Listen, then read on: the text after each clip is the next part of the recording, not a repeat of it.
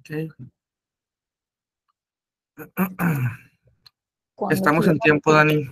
Este, arrancamos este, cuando vos digas. La verdad es que no necesitamos presentarte. La mayoría de las personas que estamos aquí, estamos aquí por, porque ya te conocemos. Entonces, la verdad te agradezco enormemente que hayas aceptado después de dos años. es, complicada tu agenda, ya, ya, ya lo sabemos todos, pero muy agradecido y lástima lo del piecito, pero gracias por, por aún así acompañarnos, ¿no? Bueno, eh, gracias por la invitación. Sí, tienes razón, Ormandi, hace rato que me, que me invitaste, que, que me pedís y perdón, es que realmente no me alcanza el tiempo a hacer todo lo que a mí me gustaría y, y me toca armar todo eso. Yo no tengo todo listo, al contrario, y a cada presentación cambio cosas y trato de cambiar siempre nueva información, siempre nuevos casos, a la medida lo posible. Y cuando me invitaste, yo te dije en Atología Moderna, justo en la semana uh, pasó que yo, yo participo de varios grupos de WhatsApp, trato de contestar a todos, algunos, en algunos me quedo ahí calladita, y me metieron en un grupo de una persona que no conocía, ¿verdad? Justo porque empezó una discusión de natología. Entonces ya salió eh, el dueño del grupo diciendo que eh, natología no existe, que charlatanismo. bueno, ya me han llamado de charlatán, de bruja, de loca, de imperita, imprudente, dinosaurica, ¿qué más? Me faltan dos. entonces, eh, acá en Brasil hay un dicho, nadie patea perro muerto. Entonces, ah, no sé. Entonces, lo que quería compartir con ustedes es realmente qué es natología. Creo que ha cambiado muchísimo eh, lo, lo, que a mí me pone muy triste es que yo soy brasilera, latinoamericana, ¿verdad? Eh, hice toda la autología, o sea, mis estudios acá en Brasil, grado, pregrado, posgrado, todo acá en Brasil, de una, yo soy ortodoncista, soy, uh, o sea, también pediatra, pero ortodoncista. Y empecé como creo que la mayoría de ustedes, con ortodoncia normal, convencional, ¿verdad? Y hice también ortopedia funcional y por supuesto que llegó un punto de mi vida que me di cuenta que tenía mucha recidiva en el consultorio. No era poca, era mucha. Y yo soy, para ustedes que me conocen, soy muy quisquillosa, soy muy exigente, soy muy eh, detallista con todo lo que yo hago. Y yo decía, no puede ser que me esté saliendo mal. Y eh, si yo hice todo lo que estaba en el libro, yo tengo miles de libros, me encanta leer, y yo buscaba, o sea, lo que estaba en el libro de Graeber, lo que estaba en el libro de Prophet, lo que estaba en el libro de Ricketts, y yo decía, no puede ser, o sea, no puede ser que no me salga eso, ¿qué hice mal? Entonces, siempre buscando mejorar. Y lo que a mí realmente hoy en día me molesta es que tengo un poquito más de conocimiento de que tenía al inicio, por supuesto, de la profesión, son casi híjole, 30 años. Entonces, eh, ya pasé por muchas cosas en el consultorio y veo que nosotros trabajamos en el sistema eh, estomatoginático y no entendemos, o sea, no entendemos dónde estamos trabajando. Entonces, si ven... No es nada,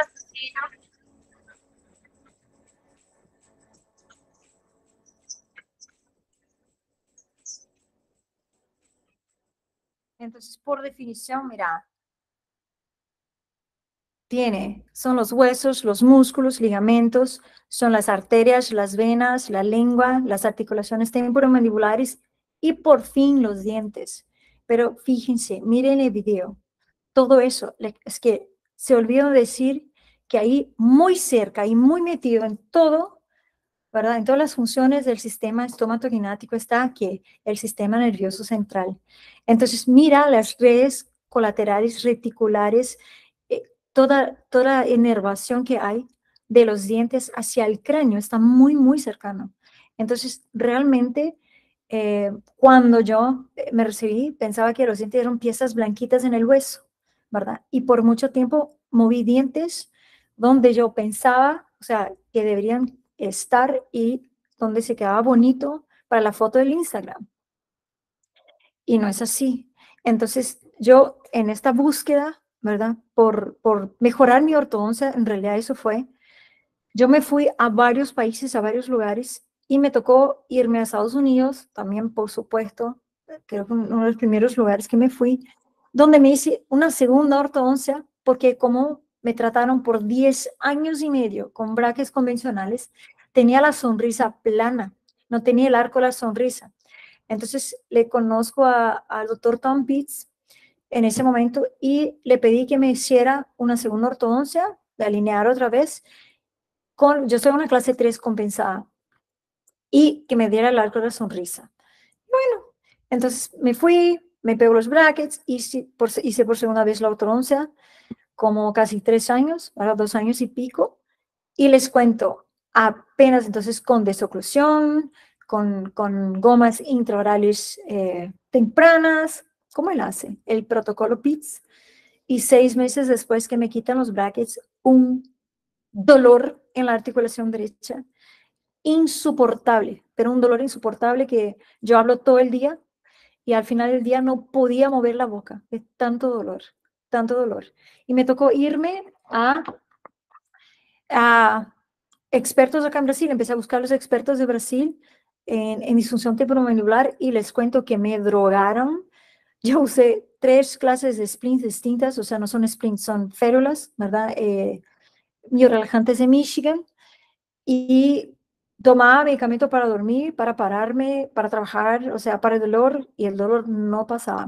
O sea, ni controlar el dolor porque me tocaba cambiar medicamentos. Me acostumbraba en tres meses y eso fue como dos años buscando un tratamiento para mi dolor. Era un dolor que empezó en la articulación y después bajó para el cuello, del cuello a la lumbar y la gente decía, no, nada que ver, o sea, no tiene nada que ver, no tiene nada que ver con el tratamiento ortodóntico, no tiene nada que ver la oclusión, o sea, y entonces fue cuando encontré, o sea, fui a, a Cartagena y justo en Cartagena, con Patri Vergara, me tocó un curso, editar un curso a un grupo de portugueses.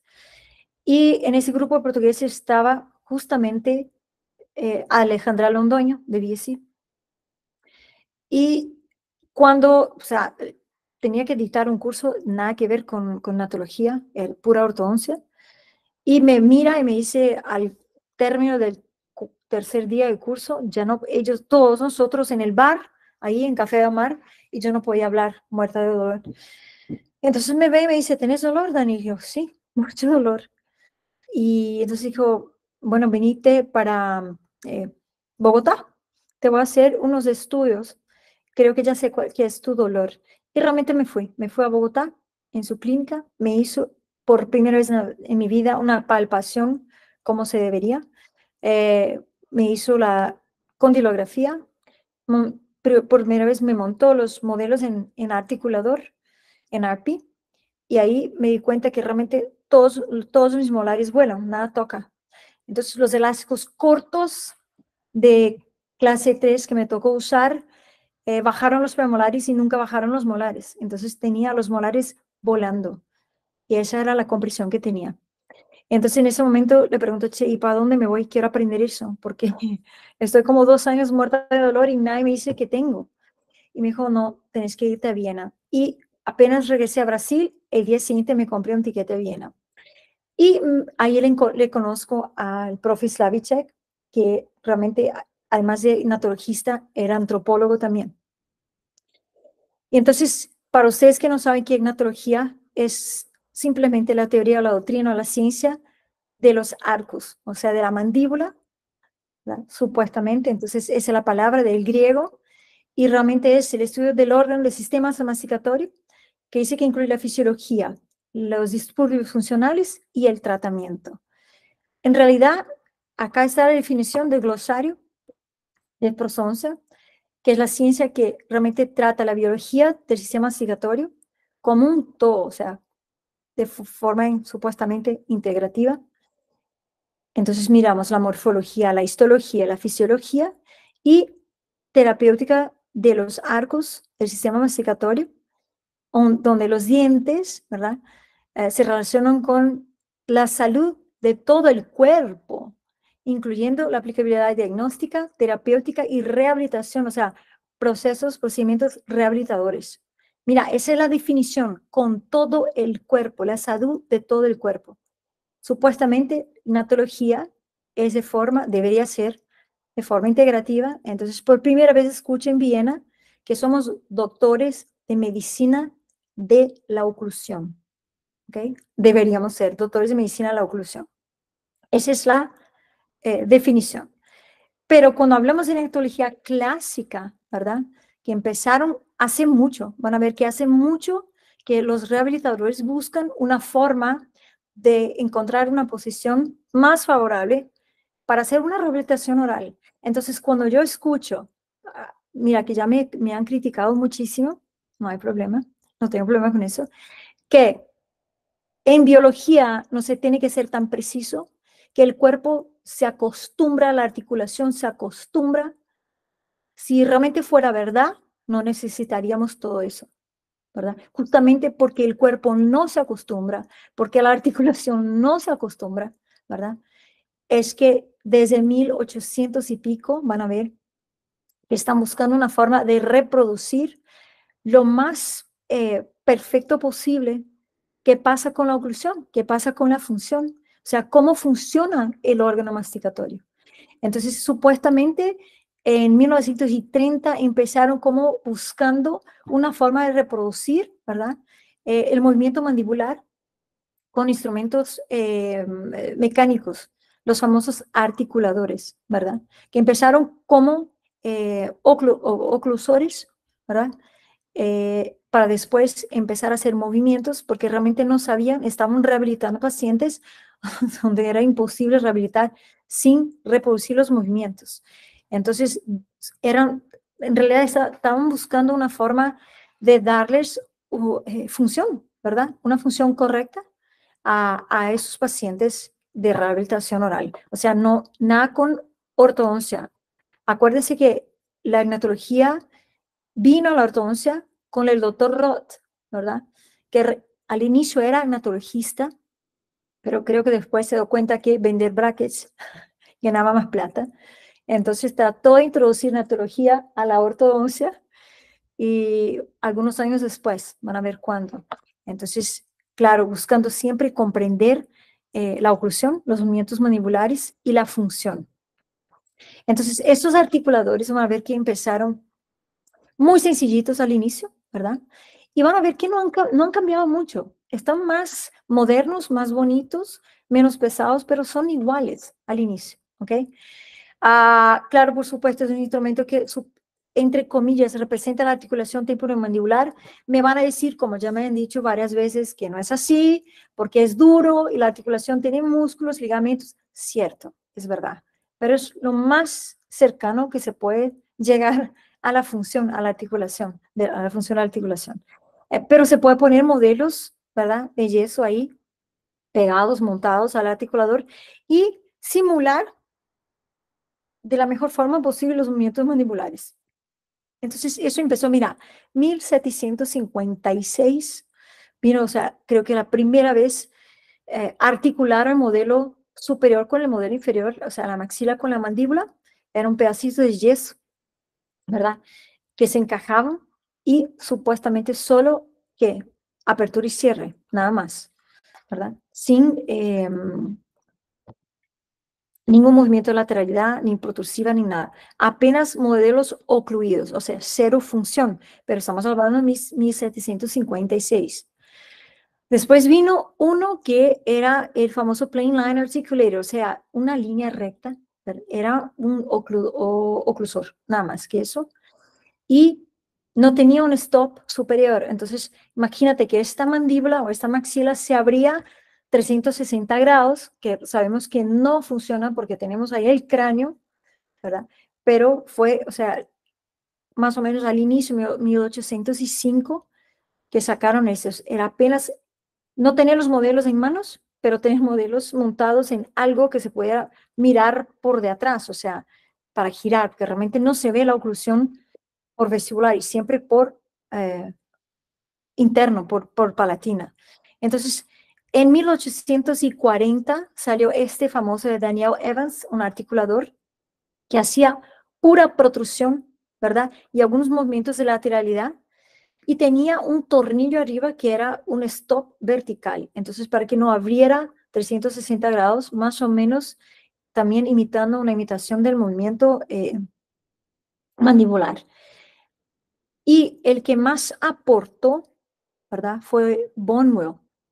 En 1885, si ustedes quieren, yo tengo el artículo, me costó muchísimo conseguir, eh, hablando de geometría y las leyes de mecánica de la articulación, o sea, una teoría de oclusión. Entonces, la gnatología antigua, vamos a decir, inicial o primitiva, era puramente buscar entender los movimientos mandibulares, los movimientos eh, eh, de, la, de la articulación, porque en realidad, ¿quién mueve? ¿Quién hace movimientos? Son las articulaciones temporomandibulares. ¿verdad? Entonces, y por primera vez tenemos al Bonwell tratando de sacar una teoría de oclusión, o sea, basado en geometría. ¿Por qué les digo eso? Que el, que más aportó fue Bonwell, porque hasta hoy yo utilizo y van a ver en todos mis casos, no es en un solo caso, en todos mis casos de ortodoncia, ¿verdad? Y casos que voy a hacer ortodoncia y prosodoncia también, porque si no me mata mi prosodoncista, ¿ok? Si no le doy la posibilidad de rehabilitar al paciente donde debería, con toda la geometría que se merece. Entonces, un triángulo equilátero, supuestamente, entre las puntas de los cóndilos hasta el borde incisal, ahí la línea entre, eh, mediana, ¿verdad? Eh, deberíamos tener 4 pulgadas como 10,16 10,16 uh, centímetros, ¿verdad? De, de, la medida del triángulo equilátero. Sabemos nosotros que no es verdad, pero eso es lo que él propuso así, era su articulador, ¿verdad? Y era, fue la primera vez que empezó eh, a hablar de teoría de la oclusión, Después, ahí está el señor Bonwell. Fue la primera vez que no usó el famoso oclusor, empezó a entender que hacía movimientos también de lateralidad, pero lastimosamente en ese inicio solo horizontal hacía los movimientos, ¿verdad? Y sabemos, vamos a ver que lateralidad no es horizontal, ¿ok? Nada. Ningún movimiento de la articulación temporomandibular, o sea, de la mandíbula, porque el maxilar superior está pegado al cráneo, no se mueve, es horizontal. No hay movimiento puro horizontal. Entonces no entiendo por qué en la ortodoncia seguimos tratando de hacer movimientos, o sea, tratamiento sagital solamente, ¿verdad? Todo lo que hacemos, todos los movimientos son también verticales. En realidad son en los tres planos del espacio, vamos a ver cómo, un sistema de coordenadas. Entonces fue la primera vez que salió el, un articulador anatómico que trataba de de imitar los movimientos mandibulares de la masticación. Siempre la gnatología antigua, original o clásica busca entender la masticación, movimientos de la masticación. O sea, como si fuera lo más importante, la masticación. Nosotros sabemos que masticamos no más que, no sé, yo menos, menos de cinco minutos al día, pero algunas personas 15 máximo, ponete, no más que eso. ¿Ok? Entonces, por primera vez, un articulador hacía movimientos excéntricos, o sea, de lateralidad, pero solamente horizontal. Sabemos que no es la realidad de la articulación. Después vino Richmond Hayes, el articulador también. Miren, tenía por primera vez acá, si ustedes ven a la derecha, ahí, tiene como una V y un tornillito y que descendes para abajo. Esa es el, la inclinación sagital condilar fija. ¿Ok? Sabemos que no es fija, pero eso es inclinación sagital condilar. Yo veo cada cosa en internet que no creo. O sea, hay gente que trata o que dice o que enseña que inclinación sagital condilar es sacar la medida de la inclinación de la eminencia. Nada que ver. Es el camino que el cóndilo, o sea, donde en el eje de rotación hace desde el cierre hasta el término del movimiento. Es el camino, sagittal condylar inclination, la trayectoria, ¿ok? Entonces, ahí tenía por primera vez fijo, entonces no sé qué angulación tiene, qué inclinación, pero como si fuéramos todos iguales, y no somos, es todo individualizado.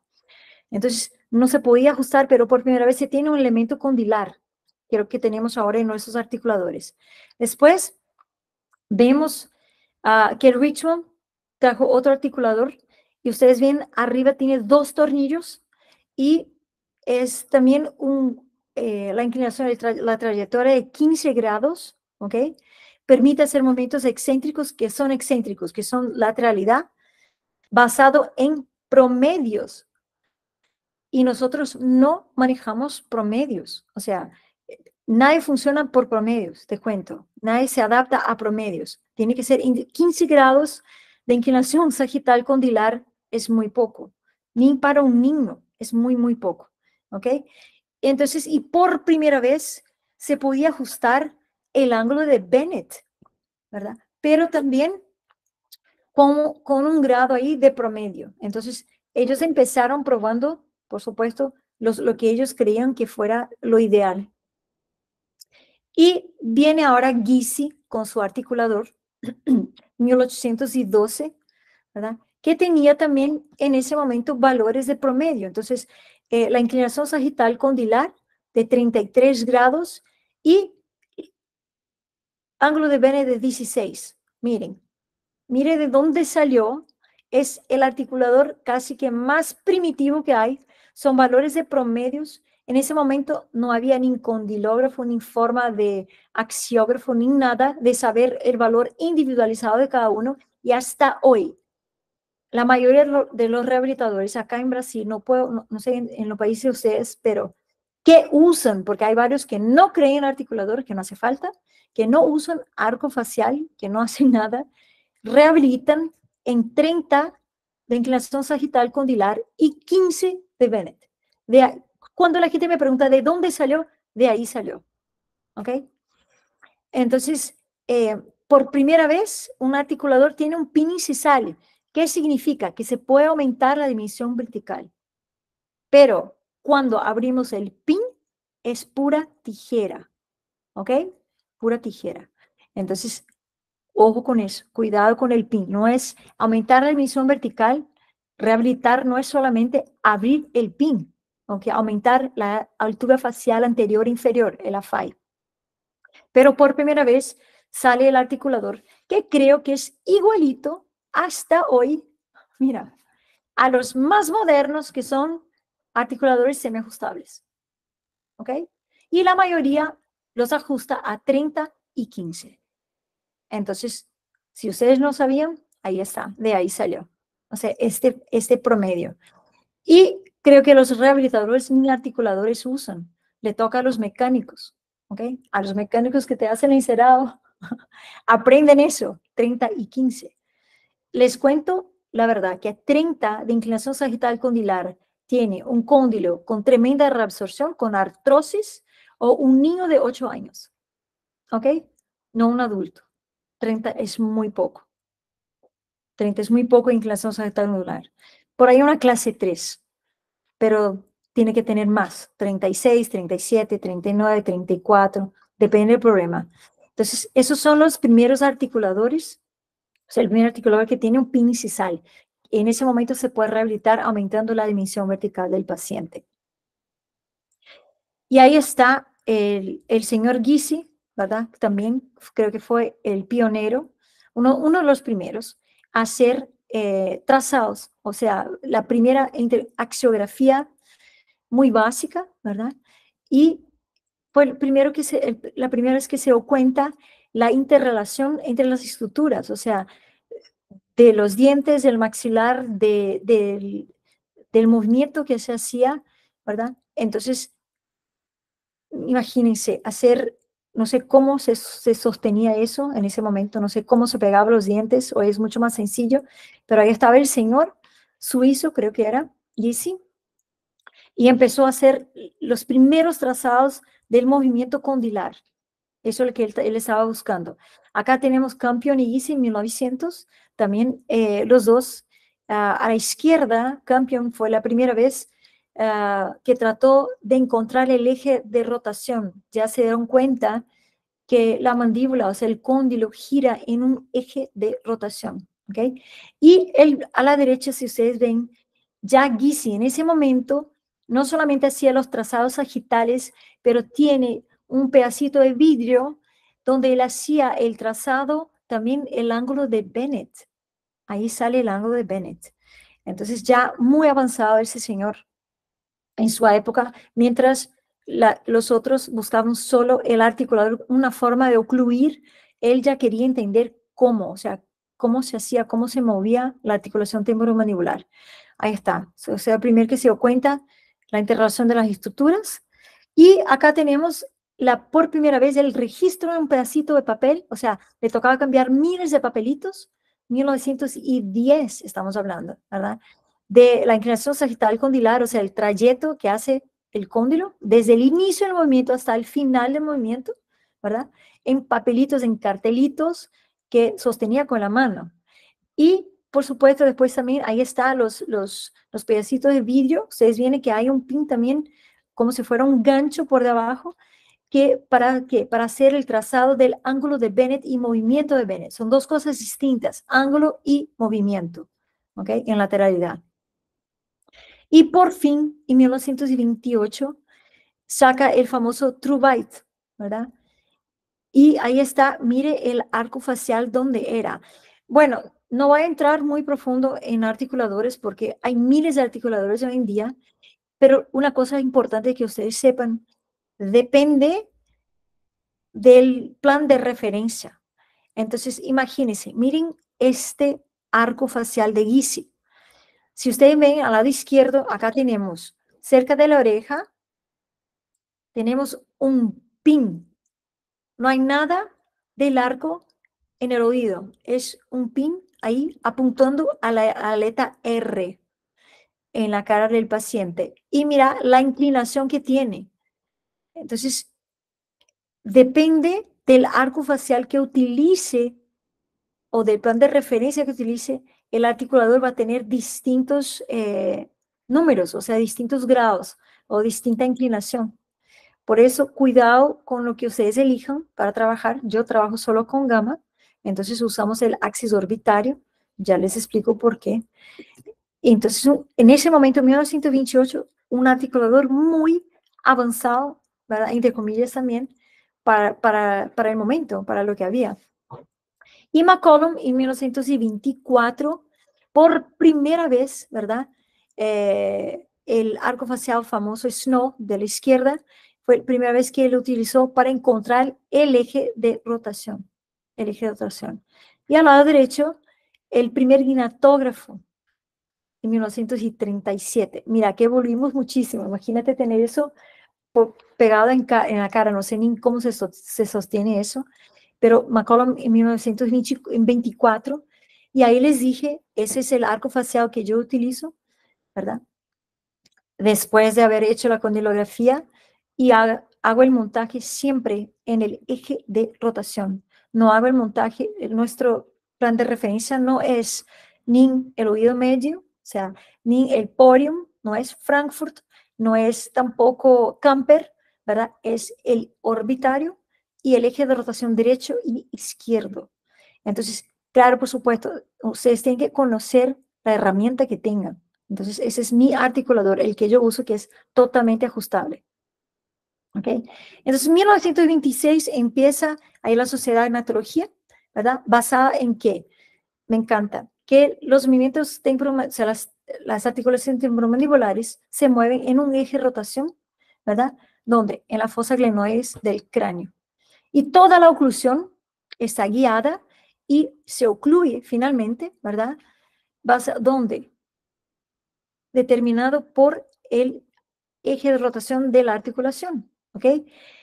Ah, y supuestamente la oclusión y la posición de esa articulación debería, se, se llamaría relación céntrica.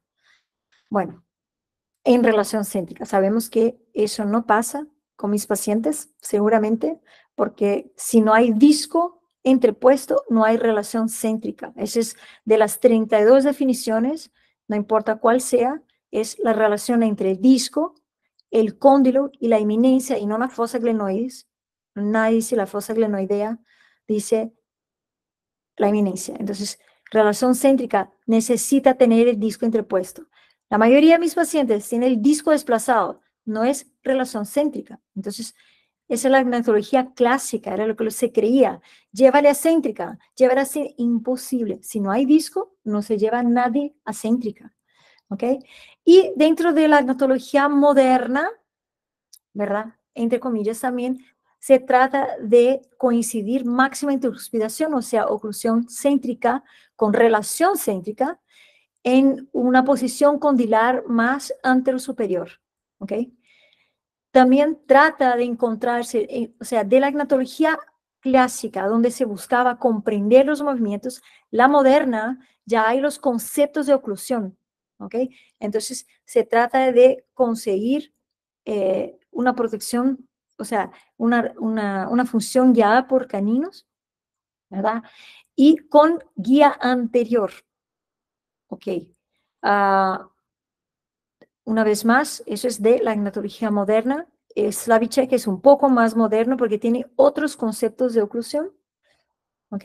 Y también, claro, eh, el montaje de los eh, modelos en yeso en un articulador totalmente ajustable, ¿ok? Con trazados pantográficos, con, con axiografía, con lo que quieran, ¿verdad? Y desprogramando antes de hacer registros de mordida encéntrica.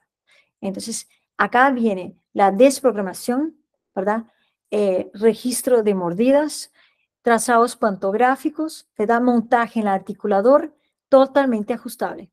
¿ok? Eso es la gnatología moderna. Mm, Dani. Sí.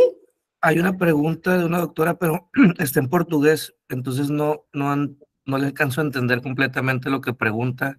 Ok. Sí, sí. Eh, Nacho, ¿me puedes ayudar a traducir, por favor, la pregunta?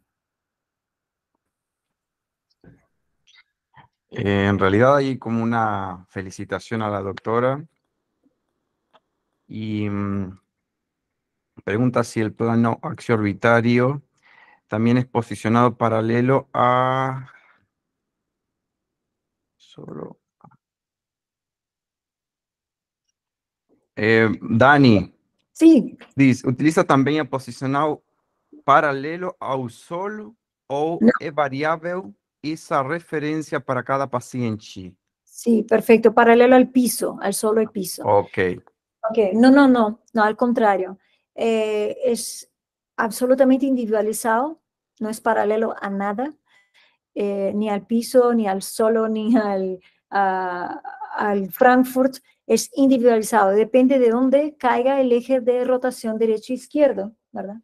Entonces, eh, vamos a sacarlo, o sea, eh, en el montaje de la bandera donde salga el, eje de rotación que encontremos, van a ver en un ratito, posicionamos en nuestra, en nuestra, tenemos una mesa, una meseta de montaje, que es después que es igual a nuestro articulador, que se lleva al articulador después para poder centralizar eh, el arco cinemático o kinemático, pero no, es individualizado. Todo lo que hacemos en la escuela de Viena es individualizado, individualizado pero por lo menos vamos a tener todo nuestro paciente, desde la foto, la, la radiografía lateral, el trazado, el montaje articulador y la condilografía en el mismo de referencia, el axis orbitario. ¿Ok? Bueno, y una vez más, entre la natología clásica y la moderna, ¿verdad? Me encanta el dibujito del lado izquierdo, es el famoso terminal hinge axis, ¿verdad? se creía que tenía que empujar muchísimo y eh, los que conocen, los seguidores de Rod, saben que así lo hacen, te empujan hasta que salga por el oído realmente el cóndilo. Ese es supuestamente el, la posición más borde, más retral que podría, y sabemos que si se empuja se va para atrás. No, quiere, no significa que sea la posición más retral y ni tampoco que sea la posición más bordeante. Entonces, en nuestra escuela, ¿qué hacemos? o sea, en realidad sostenemos o por lo menos tratamos de no permitir que entre en translación que se mantenga en pura rotación, pero no hace falta empujar para atrás, porque si uno empuja se va para atrás. Entonces, esa es la famosa, la diferencia entre la clásica y la moderna también. Acá tenemos el pantógrafo 1957 de Stuart, hay varios. Y finalmente, el que uso, pasamos por el Cadillac 2, el Cadillac 4, ¿verdad? Te permite hacer todos los movimientos, o sea, te, te, eh, te no te da la posibilidad, no te graba, o sea, te, te sale en la pantalla todos los movimientos transversal, sagital y vertical, porque tiene cuatro polígrafos, o sea, cuatro estilos y no solamente dos. Si ustedes ven acá, antes se encuentra, o sea, yo hago manual, el eje de rotación, manual. Acá vemos que protrusión, retrusión y apertura y cierre se sobrepone perfectamente. Claro, por supuesto, hay que encontrarlo, es el, famoso eje rotación uh, en ese caso. Y después ponemos las banderas electrónicas y, lo, y acá la, las estilos, son dos de cada lado, para hacer la condilografía electrónica o la condilografía 3D. Ese es el condilógrafo. Y bueno, sabemos que la mandíbula es un hueso suelto que cuelga. Lo que mantiene son músculos y ligamentos, nada más. No está pegada al cráneo, ¿ok? Y sí se mueve en un eje de rotación, que es una línea imaginaria del lado derecho al lado izquierdo, porque mira, la articulación derecha trabaja conjuntamente con la izquierda, pero de forma independiente, ¿ok? De forma independiente. No, no trabajan en sincronía, deberían, pero la mayoría no. Entonces, lo que mueve son los músculos, lo que mantiene, sostiene y lo que hace el movimiento son músculos y ligamentos. ahí, si ustedes ven, en, en un eje rotación individualizado. Y este verde que ustedes ven es la curva de apertura y cierre de, un corte sagital. Entonces no es un movimiento lineal, es una curva, es la suma de tres coordenadas. Entonces en cada puntito que ustedes ven es la suma de las coordenadas X, Y y Z de los seis planes, porque así funciona la musculatura, no es recto.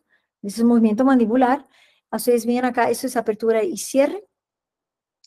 Y el eje de rotación es el punto rojo que ustedes ven acá en el cóndilo, que no significa que, que esté o que pase por el centro del cóndilo. No es un tornillo en el centro del cóndilo. Puede ser que sea más para arriba, más para abajo. Ya van a ver por qué. Ese es el eje de rotación. Y es, son movimientos esféricos. O sea, la mandíbula funciona como una esfera. Si realmente no tuviéramos el cráneo, giraría 360 grados la mandíbula, pero ¿qué hace? Eh, encaja, toca, o sea, deja de moverse cuando toca los superiores, los dientes superiores. Entonces, aterriza en el maxilar superior, la mandíbula, es donde aterrizan los dientes. Entonces, y si nosotros nos acordamos que también tenemos las curvas de que de Wilson, que son que esferas, y la curva de Speed, esfera. Entonces, son movimientos esféricos. El cráneo, la articulación funciona en esferas. Nada lineal. Hay una vez más, para más cerca, mira, protrusión, retrusión, son movimientos céntricos y apertura y cierre. Si estamos en el eje de rotación, no hay em, deformidad, o sea, las curvas no se van, no se despegan, algunos casos sí, pero deberían ahí sobreponerse por, lo menos 5 milímetros iniciales.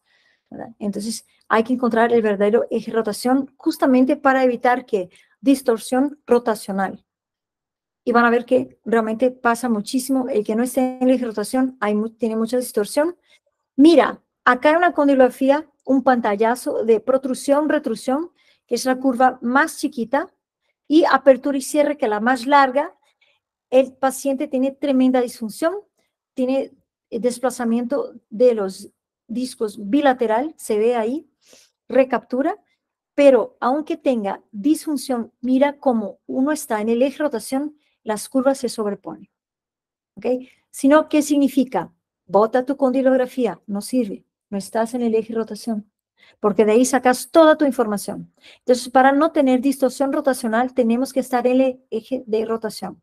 Acá vemos si estamos un poquito más para arriba, un poquito más para abajo, si nos estamos en, en el verdadero eje de rotación, hay distorsión de las curvas. ¿Qué significa? Que no estamos en el eje de rotación. El eje está ahí, el punto central, que no significa que esté en el centro del cóndilo, porque es una suma de estructuras en una cierta dimensión vertical. Entonces, ¿qué es el eje de rotación? Es la suma de hueso, compartimento superior, compartimento inferior, disco articular, ligamentos, cápsula articular, cóndilo y en una cierta dimensión vertical. Es la suma. Entonces puede ser que esté más craneal, tremenda compresión tiene el paciente, o puede ser que esté más para abajo si tiene distracción, depende. Pero lo que no está es en el centro del cóndilo, casi nunca, casi nunca. Y puede ser sí que el derecho esté mucho más alto que el izquierdo, el izquierdo mucho más alto que el derecho. Es individual. Es así que se mueve la mandíbula, para que vean. Ahí está. Apertura y cierre. Es, mira, es esférico. No es lineal. Entonces, no entiendo cómo eh, tratar una clase 2 puede ser botar, botar un propulsor mandibular y traer para adelante, porque ahí hay una amnesia. La mandíbula no viene adelante en una línea recta, es una esfera, es una esfera. ¿Ok? Y ahí vemos, mira, ahí está eje rotación, el ángulo, mira, ahí está. Debería rotar derecho e izquierdo en una línea eh, imaginaria, ¿verdad? Porque no son así eh, en, el mismo, en la misma altura casi nunca, son realmente individualizados, pero trabajamos en un sistema de coordinadas, o sea, todos los movimientos mandibulares están en eje de rotación y es un sistema de coordinadas en los tres planos del espacio. ¿Ok? No es una bisagra y no tiene un tornillo en el cóndilo. Entonces, el que te diga que la mandíbula gira adelante y no intruye y no comprime, no es así. ¿ok? Al contrario, mira, al revés. Este, para que vean, cuando hay un bruxismo y se desgastan los dientes, mira, se disminuye la dimensión vertical y por supuesto se disminuye la altura de la oclusión y este cóndilo se va a meter, va a hacer compresión. Entonces, cuidado con intrusiones también, porque la intrusión, cierto, gira la mandíbula adelante porque disminuye que el fulcrum, o sea, la tijera, la, la dimensión vertical, pero también comprime hay compresión. ¿Por qué? Porque no gira en un tornillo. Al contrario. ¿Ok? Y cuando hablamos de lateralidad, mira, me encantó. Súper, súper simpático. Eh, desviación lateral y lateralización. No funciona así la mandíbula. No es así. ¿Ok? Cuando hacemos lateralidad, hacemos dos cosas al mismo tiempo. Hacemos el ángulo de Bennett y el movimiento de Bennett. Entonces, el lado de medio trusión, que es el lado de balanceo, de balance, que a mí no me gusta la palabra balance, pero es el lado que realmente funciona, que viene adelante, que viene a la mitad para nosotros de la Escuela de Viena, medio trusión, es el lado del ángulo de Bennett. Y el otro lado es el lado de movimiento de Bennett. Entonces, eso es lateralidad. Un lado hace un movimiento, puede ser que sea horizontal, puede ser que sea para atrás y para arriba, depende, cada uno hace un movimiento de Bennett distinto, pero también el ángulo de Bennett. Y les cuento, si nosotros nos equivocamos al hacer un encerado o una rehabilitación oral más que dos grados en el ángulo de Bennett, se choca y se rompe, ¿ok? O la, o la naturaleza se encarga de hacerlo todo, se abren espacios, se rompen los dientes. Entonces, muy importante saber el ángulo de Bennett correcto. ¿Y qué clase de movimiento de Bennett hace también? Bueno, ahora, si vemos, les quiero mostrar un caso muy rápido. Antes de hacer todo eso, que yo creía que era buena ortodoncista y muy eh, moderna en ese momento. Entonces me llega esta paciente con mordida abierta anterior, ¿verdad? Con eh, mordida cruzada posterior, tremenda clase 3 y se desaparece, se va, eh, consiguió un trabajo con un cirujano maxilofacial, regresa dos años después y dice, no quiero más cirugía. Y mira que le estaban ya preparando para hacer eh, cirugía ortognática. Y yo dije, bueno, ¿sabes qué? Regresa a tu cirujano, decirle a él que no crees más cirugía, que te quite los brackets, que se recibe todo en cuatro meses de regresa acá y vemos lo que hacemos, de dónde salimos. Entonces ahí, cuando ella vino por primera vez, después de la descompensación y cómo llegó otra vez cuatro meses después a mi consulta. Ahí estaba súper querida la paciente, tremenda simetría craneana. En ese momento no sabía qué era eso. No entendía nada de MLD, de asimetría craneana, ni nada. Ahí está la sonrisa. Ella vino así, un poquito peor, ¿verdad? De lo que regresó ya sin los brackets. Y yo dije, bueno, en ese momento apenas regresé de Taiwán de hacer un curso con eh, John Lin y con los tornillos BioRay. Entonces, cuando yo le ajusto, le, eh, alineo las líneas medianas, veo que solo toca el premolar derecho, nada más toca. Entonces, entiendo por qué desplaza hacia la derecha para tener mayor contacto o cruzar, por supuesto, no puede comer, no puede nada, es horrible. Y entonces empiezo con los brackets, ahí está, con los el, encerado y eh, el cementado y en ese momento se embarazó.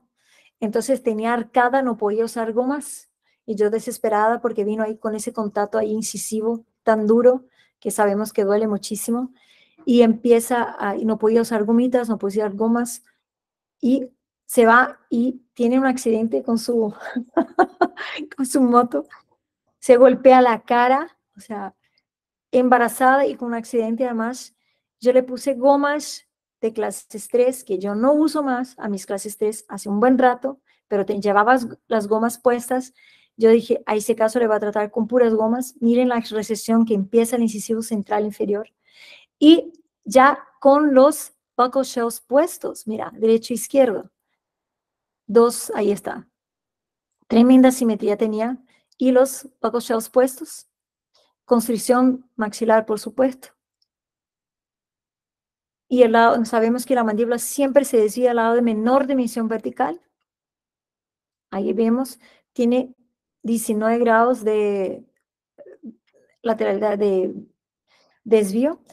Y bueno, en ese momento empiezo a hacer la mecánica que yo conocía, ¿verdad? Un overlay de Mulligan. Cuando no quiero eh, que se lingualice los incisivos, uso los tubos dobles ahí, como ven, y un arco de beta titanio inferior y sigue con los buckle shells, ya tratando de quitar el contacto duro que tenía.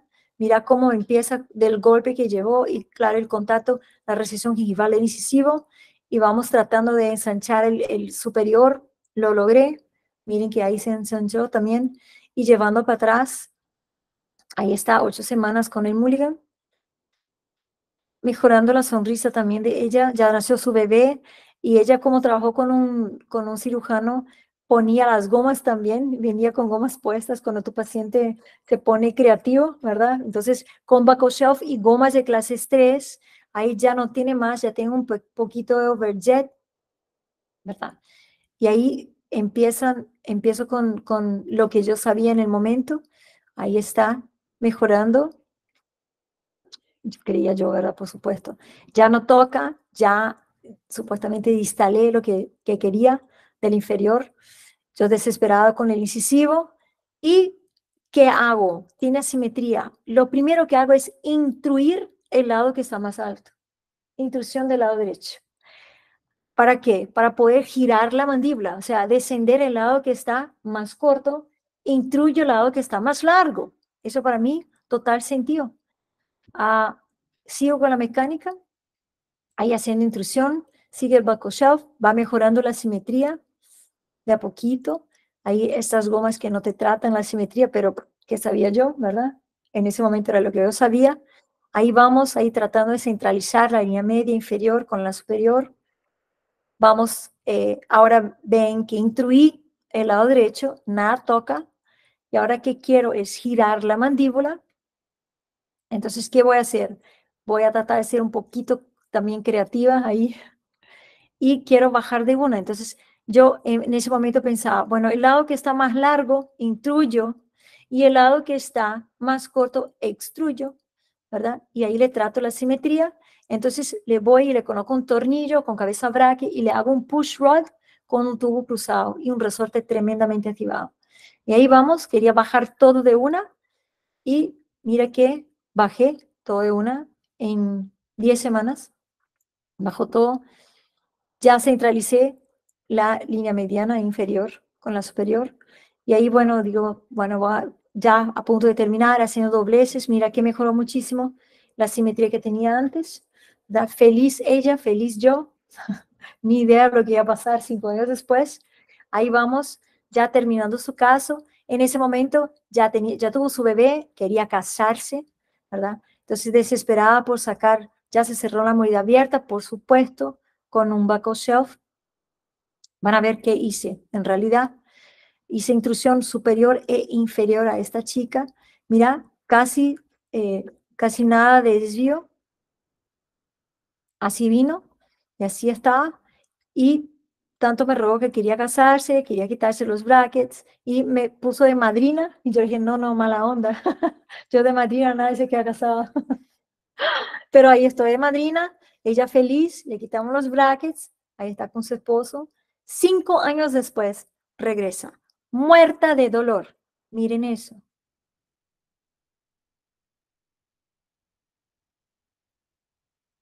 La articulación izquierda ni se mueve y la derecha salta afuera. Miren.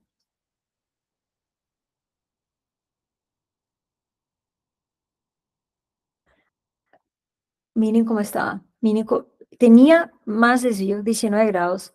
Regresó con menos, pero mira todo lo que extruí se instruyó otra vez, ¿verdad?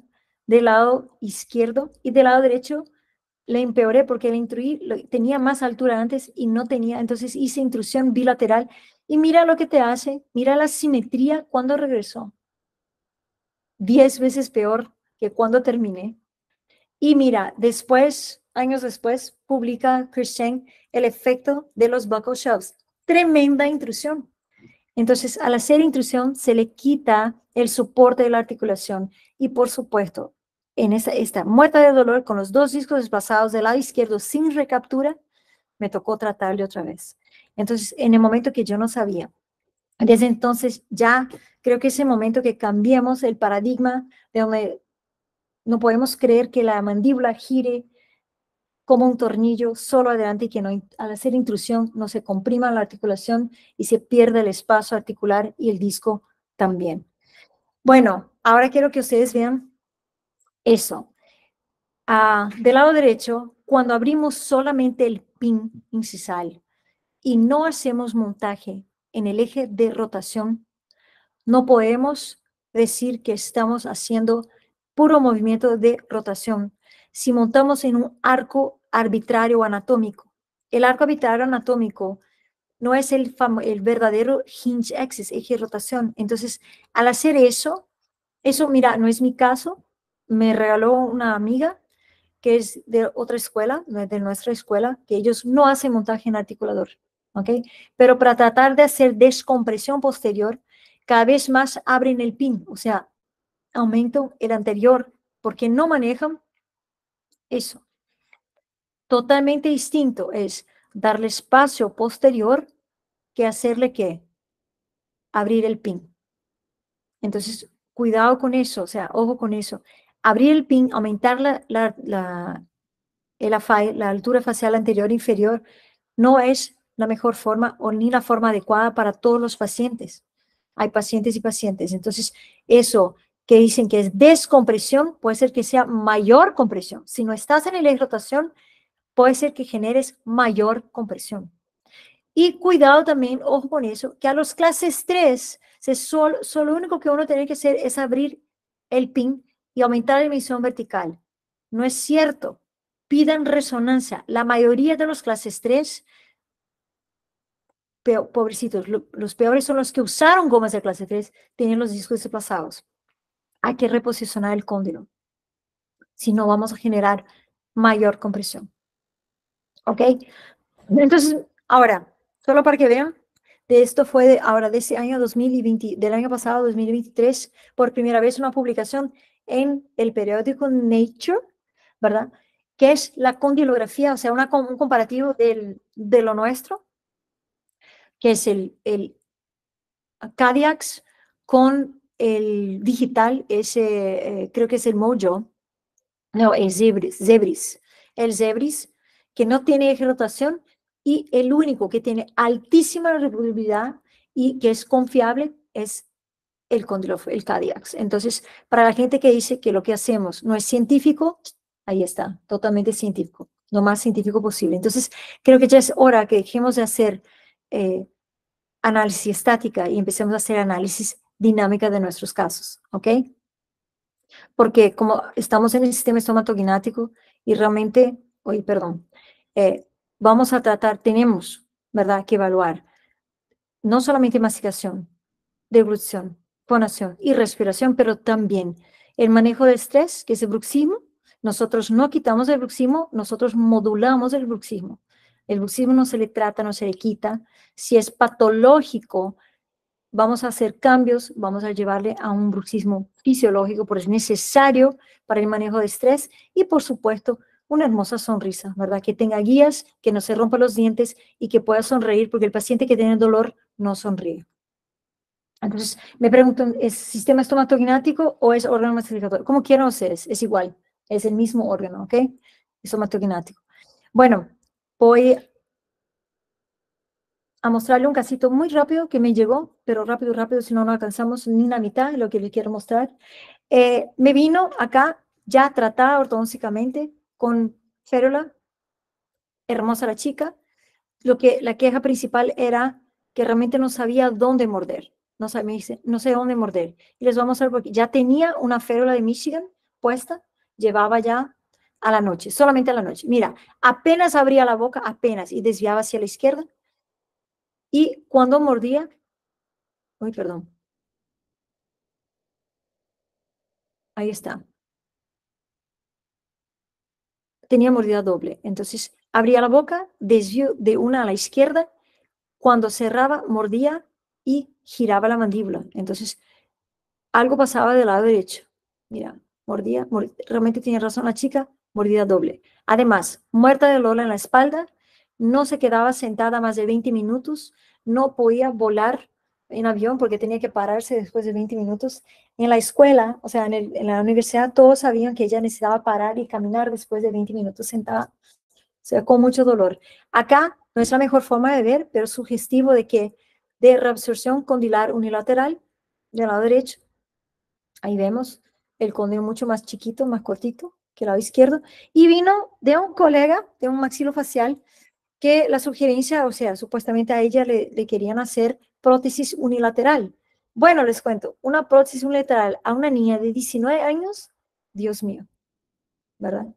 A este caso, que no tiene los cóndilos, síndrome del Pierre Robin, perfecto, bilateral. Cambió la vida a esa niña. A ese caso también, no son mis casos, también no tiene nada de cóndilo, perfecto, prótesis bilateral. Pero al poner prótesis articular, nos transformamos en cocodrilos, no abrimos más de 30 milímetros y nunca más hacemos lateralidad. No importa cuántos años de fisioterapia haga el paciente. Son no más de 30 milímetros y no se hace lateralidad, jamás. Entonces sabemos que en la cabeza del cóndilo, si ustedes no saben, están insertados tres músculos, el macetero profundo, 30% de la población tiene el, eh, el, el, el temporal anterior y el pteroideo lateral, superficial, o sea, la rama superficial pteroideo lateral. Por supuesto, tiene ligamentos, tiene ligamentos accesorios, cápsula ligamentar y disco articular. Pero estos tres músculos, cuando estirados bajo tensión, hacen con que el cóndilo que se remodele positivo, bajo compresión se remodela negativo. Es eh, así que funciona, es una es autorregulante y autorregenerante la articulación temporomandibular, o como nosotros decimos, el sistema cráneo-mandibular. Se autorregula y se autorregenera, ahí está para que vean, ¿verdad? Entonces, bajo compresión, claro, se reabsorbe, bajo tensión, se remodela positivo. Ahí está la palpación de ella, muerta de dolor, o cruzogramas, a ver cómo funciona. El Brooks Checker, terrible, o sea, funciona en grupo, total, bilateral. Choca con los incisivos, hace patrón de evasión y va para atrás y bruxa del lado derecho mucho más. Mira, por eso vemos que tiene mordida doble. Ahí estamos con la fotografía y mirando todos los trazados, mira, debería tener una curva y tener un gancho del lado derecho. Algo pasa con, esa, con la articulación, por supuesto. Mucho más corto, no tiene movimientos, ni bruxismo también con compresión, fonación, masticación. Ah, vemos todo de compresión también, movimientos libres. eh, del arpí al primer contacto y ahí tenemos compresión a máxima fuerza, también compresión del lado derecho, mucha compresión del lado derecho, por ese dolor que tenía tanto. Ahí está el trazado que está hecho en el eje de rotación. Vemos, yo siempre pido resonancia y pido eh, tomografía de las articulaciones. Acá vemos del lado derecho, ahí está el disco desplazado anterior, ¿verdad? Y sin recaptura. Del lado derecho no recaptura el disco. ¿ok? Entonces acá está desplazado anterior sin recaptura y del lado izquierdo no. Y vemos acá que tiene eh, erosión y osteofitos y hipermovilidad de los dos lados. Pero mira, el cóndilo mucho más chiquito, ¿verdad? Mucho más corto del lado derecho, con reabsorción y con erosión. Entonces, Slavichek decía, profe, si no sabemos dónde estamos, ¿cómo sabemos para dónde vamos? Entonces, necesito un sistema de coordenadas, por eso la condiografía, todo montado en qué? En el mismo plan de referencia. Dale. Y ahí voy a mis instrumentos que tengo. Entonces, ¿qué hago? Yo siempre uso el variador para variar la posición que yo quiero de la mandíbula. En realidad, varío la posición donde de los cóndilos utilizando el montaje que tengo en el eje de rotación. Eso es lo que, que voy a cambiar primero. Y ahí viene el cambio de la mandíbula. Entonces, ¿sí? Ah, hay una pregunta. Preguntan. Algo que no puedo entender es por qué los pacientes desdentados que han perdido dimensión vertical no presentan compresión condilar. ¿Será porque se produce remodelación ósea o por eso no hay dolor? Y por eso no hay dolor, perdón. Bueno, ok, excelente pregunta. Número uno, no sabemos si hay compresión o no. No sabemos. Hay que hacer, pídale resonancia, pídale tomografía y tenés que hacerle un estudio dinámico. No sabemos. Y si no hay dolor, tampoco sabemos si hay dolor, porque el, el, cuerpo y el ser humano se acostumbra con dolor crónico. Tienes que hacer palpación. Te vas a sorprender tremendo dolor que tiene eh, esos pacientes que tienen dientes. Y sí, seguro hay reabsorción, pero solo te puedo comprobar eso con una tomografía, no hay otra forma. Entonces, y voy más allá el paciente que, entre comillas, no tenga sintomatología de la articulación no significa que esté con la articulación sana, porque tiene otra sintomatología. Entonces pregunta a los viejitos que supuestamente no tienen dolor de sintomatología si le duele la espalda y no tiene nada que ver con la, la rodilla, el pie, el brazo, el hombro. Hay otras comorbilidades conjuntamente con la disfunción temporomandibular. Creo, creo que alguien, levantó alguien había levantado la mano. No alcancé a ver quién era. Doctora, si gusta abrir su micrófono para hacer la pregunta o escribirla en el chat. ¿No? Bueno. Ya será al ratito. Ok. Entonces, lo primero que dice esta niña, como tenía mucha participación muscular, tenía mucho dolor y no tenía el, el, el arpí, o sea, la posición inicial, tan, me costó muchísimo desprogramar. Yo le hice un eh, relajante, un splint al inicio, solo en arpí, en el montaje, mira, ese es el, el arpí de ella, ahí estaba, o sea, la posición inicial, cero, y cuatro milímetros del pin inicial, y estaba desviado como cuatro milímetros a la izquierda, y después me voy la segunda vez al, al sprint terapéutico con mi variador, variando la posición, hago la mordida, el test pipe, prueba el test pipe y ahí le hago el sprint con guías, ¿verdad? Con guía retorsiva, con lateralidad, todo, y hasta que ella abra y cierre y no tenga más ajustes que hacer. Ahí está, lleva el sprint puesto, ya sin dolor. Se va al quiropraxista, yo trabajo mano a mano con, un, con tres ahora quiropraxistas, ¿verdad? Porque yo no sé desprogramar el cuerpo, pero la posición terapéutica en ese momento a esta chica era así, adelante y a la izquierda. Úfala. Entonces, cuando, muerde, cuando mordía antes, no tenía constricción maxilar. Así ahora tiene, tiene, porque vino adelante la mandíbula. Y me toca girar toda la dentición inferior hacia la derecha, porque así era, no podía mover la superior. Mira, hoy perdón, acá no se ve nada. No podía mover eh, la línea media superior y sí me tocaba mover la inferior en su posición terapéutica. Eh, tremenda dificultad en la, en la ortodoncia. Bueno, tenía algo de dolor, le hice otro splint, poquito más alto, hasta que se quedó sin dolor. Y ustedes vean acá a la derecha, esa era la posición terapéutica de ella. Entonces, supuestamente yo le alargué la cara. Ah, ahí está su posición terapéutica, sin dolor, sin dolor la espalda, sin ningún dolor, no tenía más ningún dolor. Y debería ser la ortodoncia ahí. O sea, la posición de la mandíbula era esa y ahí debería tratarle a esta niña. Para que entiendan, ahí está. Me tocó ensanchar el superior, girar todo el inferior para que coincida. Y lo que quiero que entienda es la clase de ortodoncia que hacemos no significa que le voy a juntar los dientes en esa posición. Al contrario, voy a hacerle esto. Y así se termina el caso. ¿Y qué pasa con el cóndilo? Dos años, cinco años después, se remodela por completo. Dale espacio, dale distracción, dale espacio, el cóndilo se remodela por completo. ¿Ok? Entonces lo más importante es el diagnóstico, pero diagnóstico dinámico y no estático. ¿Ok? Saltemos eso. Dame un minuto, repetido, nada que ver. Entonces le quiero mostrar algo también que como les dije, trabajo con el quiropraxista mano a mano. Es otro caso para que vean y les voy a mostrar un poco de la ortodoncia que se hace con, con la eh, natología moderna de Slavicek. ¿Por qué es más moderna? Porque tiene más de 40 años, ¿verdad? Y la otra tiene más de 200 años casi. ¿Y qué tenemos? En nuestra filosofía, que nuestra filosofía son conceptos de oclusión porque son cambiantes. Al momento que cambie la genética o la filogénesis del hombre y odontogénesis, que cambiemos, ¿verdad? Que cambien los conceptos de oclusión, por supuesto, para que se adapten a, la nueva em, realidad del ser humano. El Señor era antropólogo, entonces eso es irrefutable, cambian. Pero tenemos no solamente el diagnóstico funcional dinámico, tenemos conceptos de oclusión para tratar nuestros pacientes y tenemos la ortodoncia para hacerlo. Y la mayoría de, los, eh, de las teorías, filosofías, tiene uno o otro, pero nosotros tenemos los tres, que nos posibilita tratar nuestros pacientes por completo.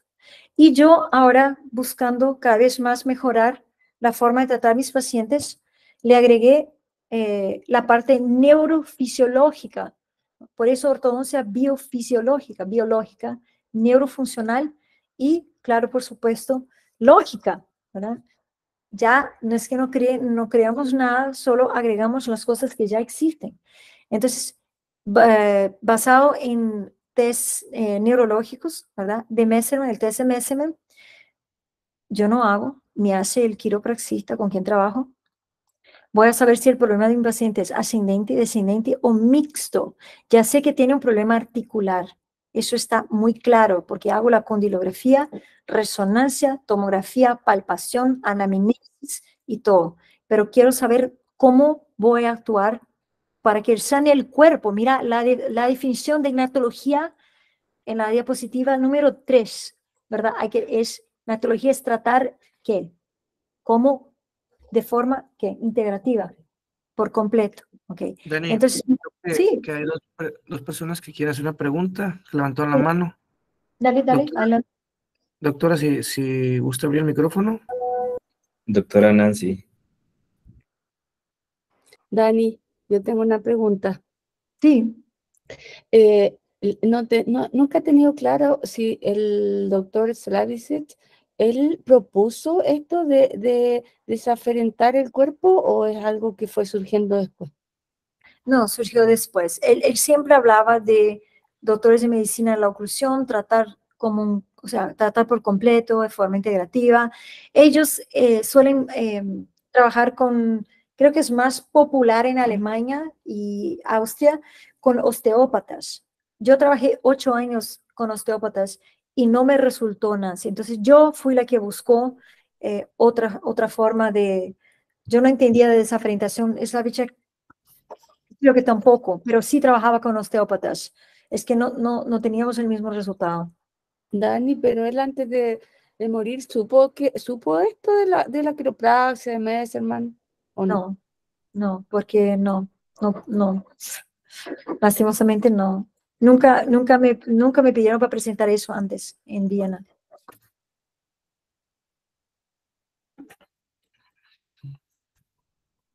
¿Otra pregunta? ¿Seguimos? Había una, había una Sí. doctora antes de Nancy, pero no abrió el micrófono. Igual tenemos dos preguntas en, en YouTube. El doctor Alfonso Serna dice, buena noche. Entiendo que es para localizar el eje axiorbitario. Eh, ¿cómo le dices, Gregory? Como lo dices, Gregory, bajando 9 grados de plano de Frankfurt, no es correcto. No, no es correcto, es un promedio. Mira, eh, son, nue- son 8 grados. Gregor Slavicek eh, es el hijo del profesor Slavicek, el hijo mayor. Son 8 grados, ¿verdad? Es un promedio en una articulación sana, en un cráneo sano, que no tenga eh, torsión, ¿verdad? Suele estar ahí, es un promedio, pero la mayoría no es así, te cuento. No es así. El que maneja condilografía sabe que de rotación no está a 13 milímetros del tragus con cantos, casi nunca.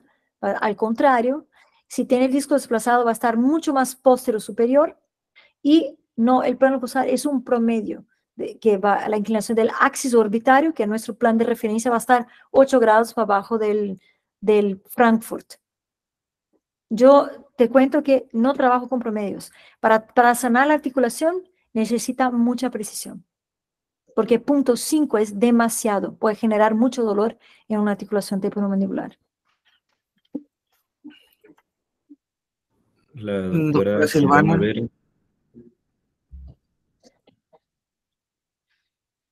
¿Me escucha, doctora Daniela Storino? ¿Sí? Te escucho. La sigo hace muchos años, la admiro y ya la quiero muchísimo.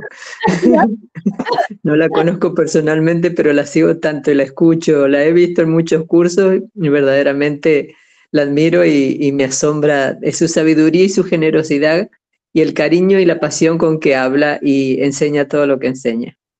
Y ahora va mi pequeña pregunta, doctora. El tiempo eh, aproximado que utilizan el spleen los pacientes ¿Y cómo sabe cuando, es decir, qué tuvo en cuenta para cambiar un spleen a otro? Ok, buenísima pregunta.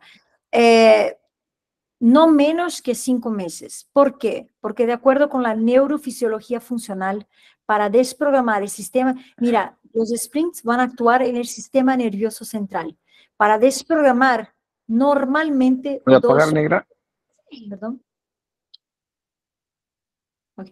Para desprogramar normalmente dos meses. Normalmente, ¿por qué? También es un promedio, es individual.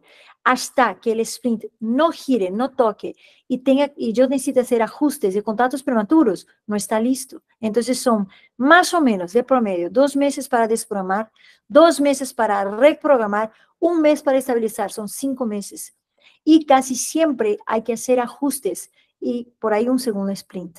Entonces, mínimo cinco meses más cinco, cada paciente lleva un sprint o dos por diez meses, mínimo. ¿Sí? ¿Cuándo termina? Cuando esté estabilizado, haciendo función perfecta en el sprint en caninos, sin contactos prematuros que yo necesite eh, quitar, ¿verdad? Sin ajustes. Y cuando se le quita el sprint, ya no regresa su mordida original, ya no regresa. Ahí sé que usa y que está estable. Ahí en ese momento puedo irme a la rehabilitación oral, pero es para cada paciente. Tengo pacientes que usan sprint dos años, año y medio. Tengo pacientes que usan sprint. Si es tremenda asimetría, depende de lo que tenga el paciente, total reabsorción condilar, fracturas, depende. Les voy a mostrar hasta tres años, cuatro años. Mm, Dani, ah, hay pregunta en el chat. Bueno, tres preguntas. La doctora le, le tomó muy en serio las preguntas, hizo tres bastante buenas. Este, ¿por qué colocar el guarda en la arcada inferior y no en el superior? Porque es mucho más sencillo ajustar un punto superior, que es la cúspide estampa, que un tipoísmo inferior. Yo quiero precisión para hacer un ajuste. Si El, el que ya hace guardia o sprint o órtesis, como quieran llamar, se hace superior para ajustar. Son tres puntos en el inferior. Y, el- y al revés, es un solo punto, que son las cúspides palatinas, porque las cúspides vestibulares no deberían tocar. Y también ayuda al habla. Ah, también. Sí, no te, quita, no te quita el espacio de la lengua superior. O sea, se necesita para resetear el sistema nervioso central que la lengua, la lengua al tragar toque el paladar. Eh, ¿Cómo hace la transición del uso del spleen a la colocación de los brackets para iniciar el tratamiento de ortodoncia? Van a ver con overlays. Mira, son overlays con encerado funcional. Son overlays, no son eh, hechos en mano y no son, no son realmente hechos con geometría. Ya les voy a mostrar. Muy bien. Muchas gracias. Nada, ¿Seguimos? Sí, sí. Ok, entonces una lesión descendente, un paciente estomatognático mayor, o sea, todo el problema estaba, toda la desafrentación en la, arca- en, en la articulación temporomandibular, una niña hermosa, le hicieron ortodoncia, ahí tenía, no le gustaba como los dientes estaban así lingualizados, no le gustaba su sonrisa, ¿verdad? Cuando se paraba, se despertaba, tenía el famoso eh, bloqueo, ¿verdad? No podía abrir la boca, tardaba como media hora en abrir la boca. Eh, sentía que eh, rechinaba la noche, ronquido también, ¿verdad? Muerta de dolor de cabeza, cuatro veces a la semana se quedaba en lo oscuro con migraña, ¿verdad? Que no era migraña, dolor tensional, ¿verdad? Eh, siempre con torticolis, siempre con dolor en el cuello, ¿verdad? Y también eh, en el hombro, que empeoró un año antes de venir. Tenía dolor en la torácica, mucho cansancio al masticar comidas duras, ¿verdad? Y tenía un clic audible en la articulación derecha. Ah, tenía pectus, asimetría del pectus, les vamos a ver qué es eso. Ah, hiperlaxitud, por supuesto, ligamentos flojos. Tenía ataques de ansiedad perfeccionista. Hacía terapia desde los ocho años por su ansiedad y decía que dormía bien, ¿verdad? Pero se, despertaba con la boca y los ojos secos ah, y dormía, vino con un clamp. Si ustedes saben lo que es, es un aparato ortopédico funcional. Eh, después que terminó la ortodoncia, en dos años, le dio la ortodoncista un clamp, no sé para qué, pero vino con el clamp. Ahí está, muerta de dolor. Ustedes ven, todo lo que tiene 3X o tres cruces es mucho dolor. O sea, tenía dolor y yo le puse, por favor, dibujame dónde te duele. Y le dolía muchísimo la torácica, muchísimo, y el lado derecho, el lado izquierdo, la articulación, la musculatura y eh, el cuello. Pero mira, tratada con ortodoncia en clase 1 con guías caninos. ¿Ok? Como debería, y protrusiva en incisivos. Pero trancadísimo. Mira, el que hace protrusión en incisivo, seguro va a desgastar los incisivos. Ahí se ve, protrusión en incisivos, con lateralidad en caninos. Así llegó la niña. Perdón, ahí está el montaje en máxima intercuspidación, para que vean. Y el, les, siempre les pido una tomografía, ¿verdad? Y tenía osteófitos en los dos cóndilos, o sea, compresión bilateral. Y también una reabsorción anterior, ahí una vertiente de reabsorción anterior de los cóndilos y las, eh, la eminencia. Y seña, o sea, señales de generación eh, de, claro, de, de, enfermedad degenerativa de las articulaciones, que es siempre progresiva, jamás deja de progredir, siempre va, siempre empeora. El disco desplazado del lado derecho anterior con recaptura en apertura y el disco del lado derecho también desplazado, ¿verdad? También, o sea, desplazado bilateral con recaptura. ¿Ok? Ahí está, okay. con ella. Abre devagarzinho. Fecha. Isso. Abre devagarzinho. Fecha. Mais uma vez. Fecha.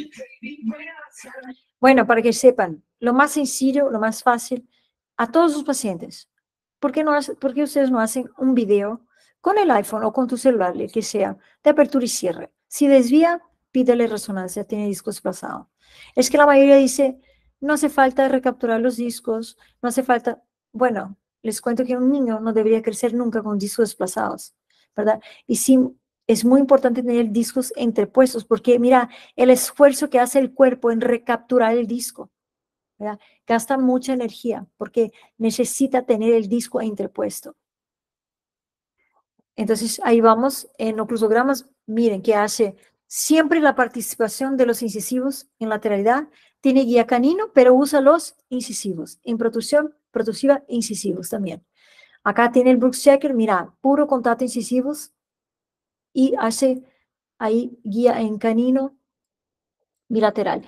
Y vemos que tiene asimetría, desvío, y eso que tenía, porque mira, escoliosis es una torsión. ¿Cómo tiene? Acá, torcida, no se ve, perdón, acá la espalda posterior torcida, mira el pectus anterior saltado también. Entonces, eso lo que le usaba la niña, porque decía, mira, cuando pongo eh, mis blusitas ahí pegaditas, se ve que tengo, parece que tengo un huevo acá saltado, algo así. Sí, me decía Paula. Bueno, le hacemos la condilografía, siempre lo más paralelo posible. Miramos la condilografía, saco toda la información de mi cóndilo y ahí está en posición de referencia el montaje. ¿Qué hace la niña? Tan horrible es la posición posterior que ya al desprogramar viene adelante. Como choca incisivos, ahí se queda. No viene más adelante porque no puede, ¿verdad? Pero esa es la posición de referencia cuando se desprograma. Ahí lleva la musculatura. Le hacemos tres test bites distintos y ahí está el número tres que se eligió y el primer sprint. ¿La llevé en clase 3? Sí. Eh, lo que ella necesitaba esta posición para desprogramar y para quedarse sin dolor. Es la posición terapéutica de ella. Sprint tiene guías, ahí está ella con el sprint puesto, ¿verdad? Acuérdense que tiene tremenda lingualización de los superiores. Y ahí se va al quiropraxista para que vean. Y él le va a hacer todos los tests. Porque tiene torsión. Mira, estomatognático mayor. No tiene fuerza. Typical um, descending lesion will have weakness in the Ah, the shoulders. Uh, the elbow. Ah, mira cuando abre la boca, mira la fuerza. Strong. Movement. Muerde otra vez, sin fuerza. Entonces, ese es el famoso estomatognático mayor. Desafrentación de las articulaciones, cero fuerza en los miembros superiores. Abre la boca, tiene fuerza. Ocluye, desafrentación, cero fuerza. Entonces, vamos ahí. Va a poner el spleen. So the patient puts a plate, bind plate. Patient will now walk around the Ahora table, camina, respira y traga. swallowing and walking with normal arm movement. Once or twice is sufficient to activate the whole proprioceptive system for one. Coordinate that the normal Ahora le va, le va a hacer otra vez el test neurológico de Messerman. We'll go through the case again, internal rotation, equal, Rotación igual. psoas, Psoas. patient then head that full strength. Tiene fuerza ahora. Full strength back. No tenía. Psoas, was bilateral, lateral, Ahora apertura. and work like Wow. a hundred and maybe a hundred degrees. No habría antes.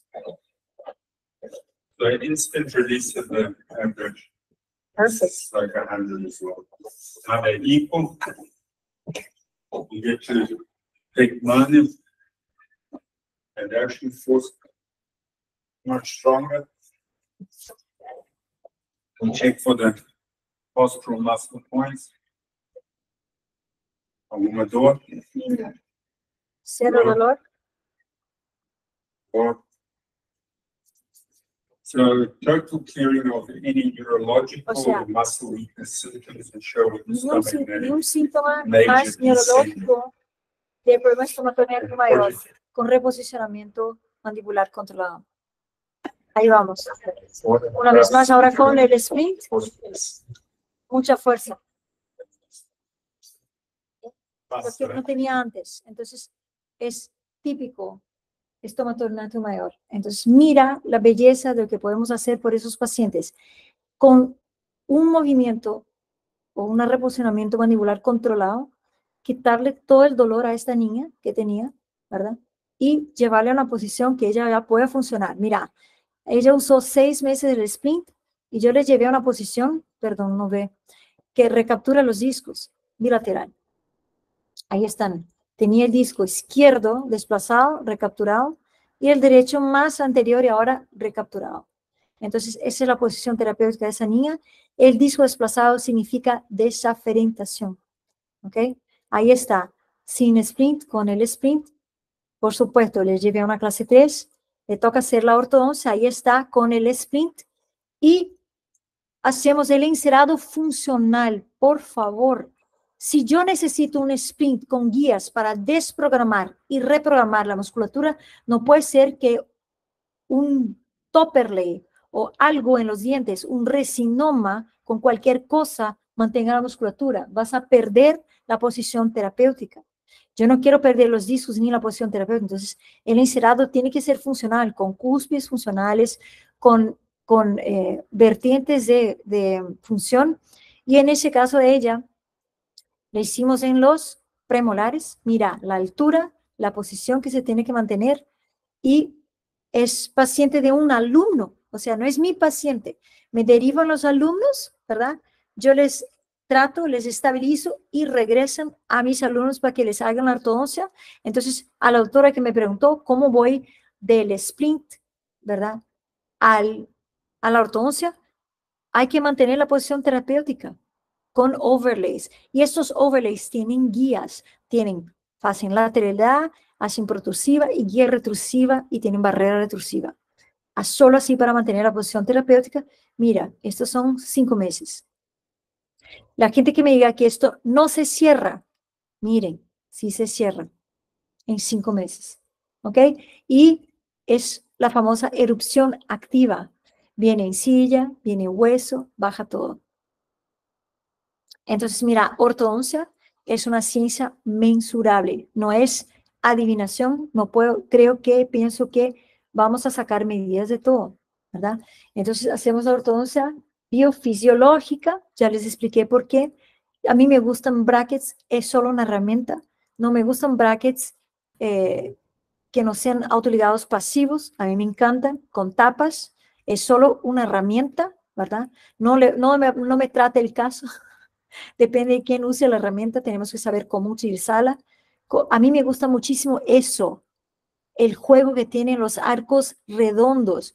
Yo puedo usar fuerzas ligeras y constantes para hacer erupción activa, para que venga qué, para que pueda cerrar esas mordidas que me dicen que son enormes, que nadie va a cerrar, se cierra por completo. Dani, ¿Mm? una muy buena pregunta. Sí. Eh, esos discos que han estado desplazados por mucho tiempo, una vez que los recapturas, ¿qué tan estables se mantienen? Estables. Porque no hay compresión, Ormandel. El disco se desplaza por compresión, no hay espacio. Cuando hay compresión es como una salchicha, una salchicha. Se, se desplaza adelante. O sea, el disco va adelante. Si hay espacio, no tiene por qué. Es una articulación inteligente, autorregulante y autorregenerante. Sabe dónde el disco tiene que estar. En realidad no es el disco que estaba desplazado, el disco estaba sobre la eminencia, el cóndilo estaba posterior. Y la mayoría de los casos no son los discos. Miren, raro los casos que los discos estén para pa, adelante de la eminencia, porque la posición del disco es en la eminencia, es el cóndilo que está posterior. Entonces, súper estable la posición de los discos. Hay otra pregunta. Este, ¿En qué casos enviamos resonancia magnética y diagnosticamos patologías estructurales como tal y se involucra al cirujano? Ah, la pucha. ¿Para qué? No, no sé, es, es la pregunta. Ah, sí, no, no, no, no, no, no. Mira, hay tres cosas que sale de una eh, cirugía articular. Número uno, adherencias. Número dos, pérdida de morfología. Y número tres, eh, tremenda um, fibrosis. Nunca más funciona. No abran la articulación. Les voy a mostrar un caso. No abran la articulación. No hace falta. También preguntan, ¿siempre los discos se recapturan? No. Si el, si el paciente recaptura los discos, ya mucho más sencillo. ¿verdad? Pero si el paciente no tiene clic recíproco, si no recapturas el disco, al abrir se, se va para adelante, ¿verdad? Porque tiene el ligamento muy flojo, no, pero no hay problema. Trabajamos por, por debajo del disco y se va a formar un pseudodisco del ligamento posterior. No, no son todos casos. La mayoría que se pueda, sí, sí se recaptura. Otra pregunta de YouTube. Al no contar con el condilógrafo, ¿se puede confiar solo con la fotografía, la radiografía lateral de cara y el trazado cefalométrico para localizar el eje de rotación? Jamás, jamás, ni se te ocurra. No. Ok. Y preguntan, ¿habrá Visit México? No sé. ¿Hay Brasil? Pronto, pronto. Ya, ya, ya la convencimos para, para un webinar, también para un congreso en México y un curso en México. Entonces, vamos poco a poco. Es que, es que, mira, no que yo no quiera, no, no porque no me gusta México, porque me encantan los mexicanos y México. Es que, como eh, vos lo sabes, Ormandi, hay toda una estructura por detrás, ¿verdad? Tengo un laboratorio, chicas entrenadas, no es fácil. Falta sacarle la residencia a la doctora. No, lo, lo que pasa es que me- voy a dar mi, mi- mi- mi opinión. Como tiene todo el equipo allá y los pacientes es lo que enriquece el curso, porque si lo, son teóricos, no lo vas a poder comprender como si lo ves con los pacientes, porque el paciente es el reflejo de lo que se está haciendo. Son los que te cuentan su historia, cómo venían, cómo estaban, te enseñan sus fotos, sus videos y los ves el cambio que tienen. Obviamente, eh, a mí me preguntan, yo voy a Visit Brasil, me preguntan por qué voy tan lejos, es porque yo quiero lograr esos resultados con mis pacientes. Pero lo más importante, queremos ver eh, o queremos tratar a los pacientes como si fueran eh, todos iguales, con medidas estandarizadas, y no, los pacientes son diferentes. Entonces, a un paciente, a un paciente de dos metros no le vamos a cortar las piernas para que mida un 80. Entonces, hay, pa- hay pacientes que van a tener la cara más larga, pero que van a funcionar bien y van a estar encantados porque después de sufrir mucho dolor, pues cualquiera quisiera vivir, aunque tenga cara larga, luego se lo operará, pero este, sin dolor, ¿no? Eso es lo que yo he visto. Sí, Entonces, se complica traer todo el equipo, que no es tan complicado el equipo, pero sí los pacientes, que es lo que enriquece la enseñanza. Ahora sí, es que está perfecto. Es que siempre me preguntan, y doc, doc, ¿cómo voy? ¿Qué hago? Ahora hice el curso y cómo, y cómo utilizo todo eso. Y, y van a haber muchos casos. Yo tengo muchos pacientes, muchos casos.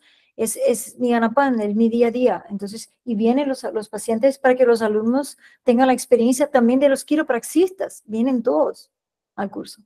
preguntan, eh, ¿el uso del axiógrafo puede ser útil al no tener un condilógrafo? ¿Cuál? ¿El uso del axiógrafo puede ser útil al no tener un condilógrafo? ¿Cuál es la diferencia entre el axiógrafo y el condilógrafo? La única diferencia es que el axiógrafo no te permite ver el movimiento transversal.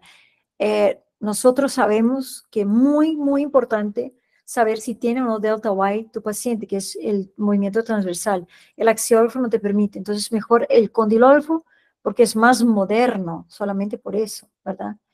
Te, te va a dar una curva más, que es la más importante, que es el desplazamiento transversal. Muchas gracias, Daniel. ¿Seguimos? Bueno, entonces mira, ahí está la ortodoncia biofisiológica.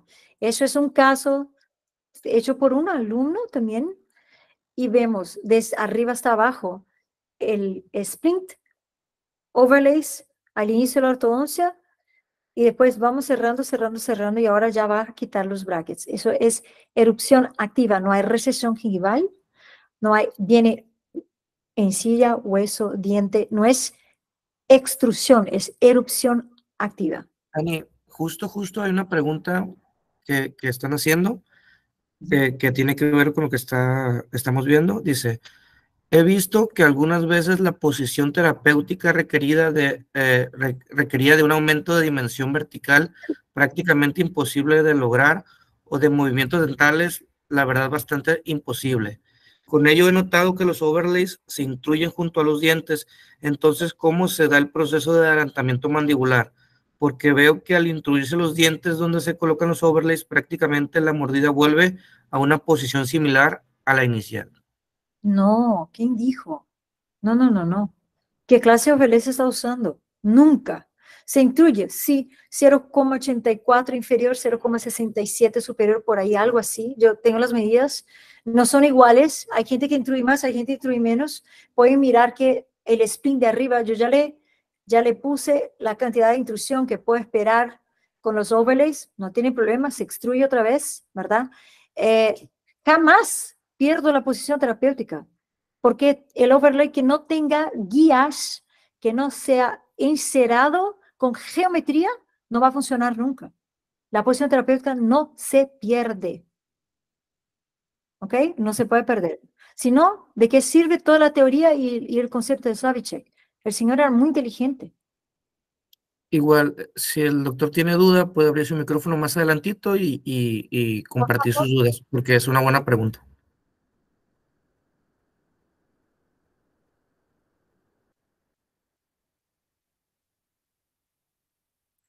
Hola. Continuamos las preguntas. En el caso de la discre- discrepancia dental, ¿avala las extracciones de premolares? No. Yo hago siempre, yo soy extraccionista, pero siempre de las cordales. No, no, yo no quito premolares. Muy bien, continuamos.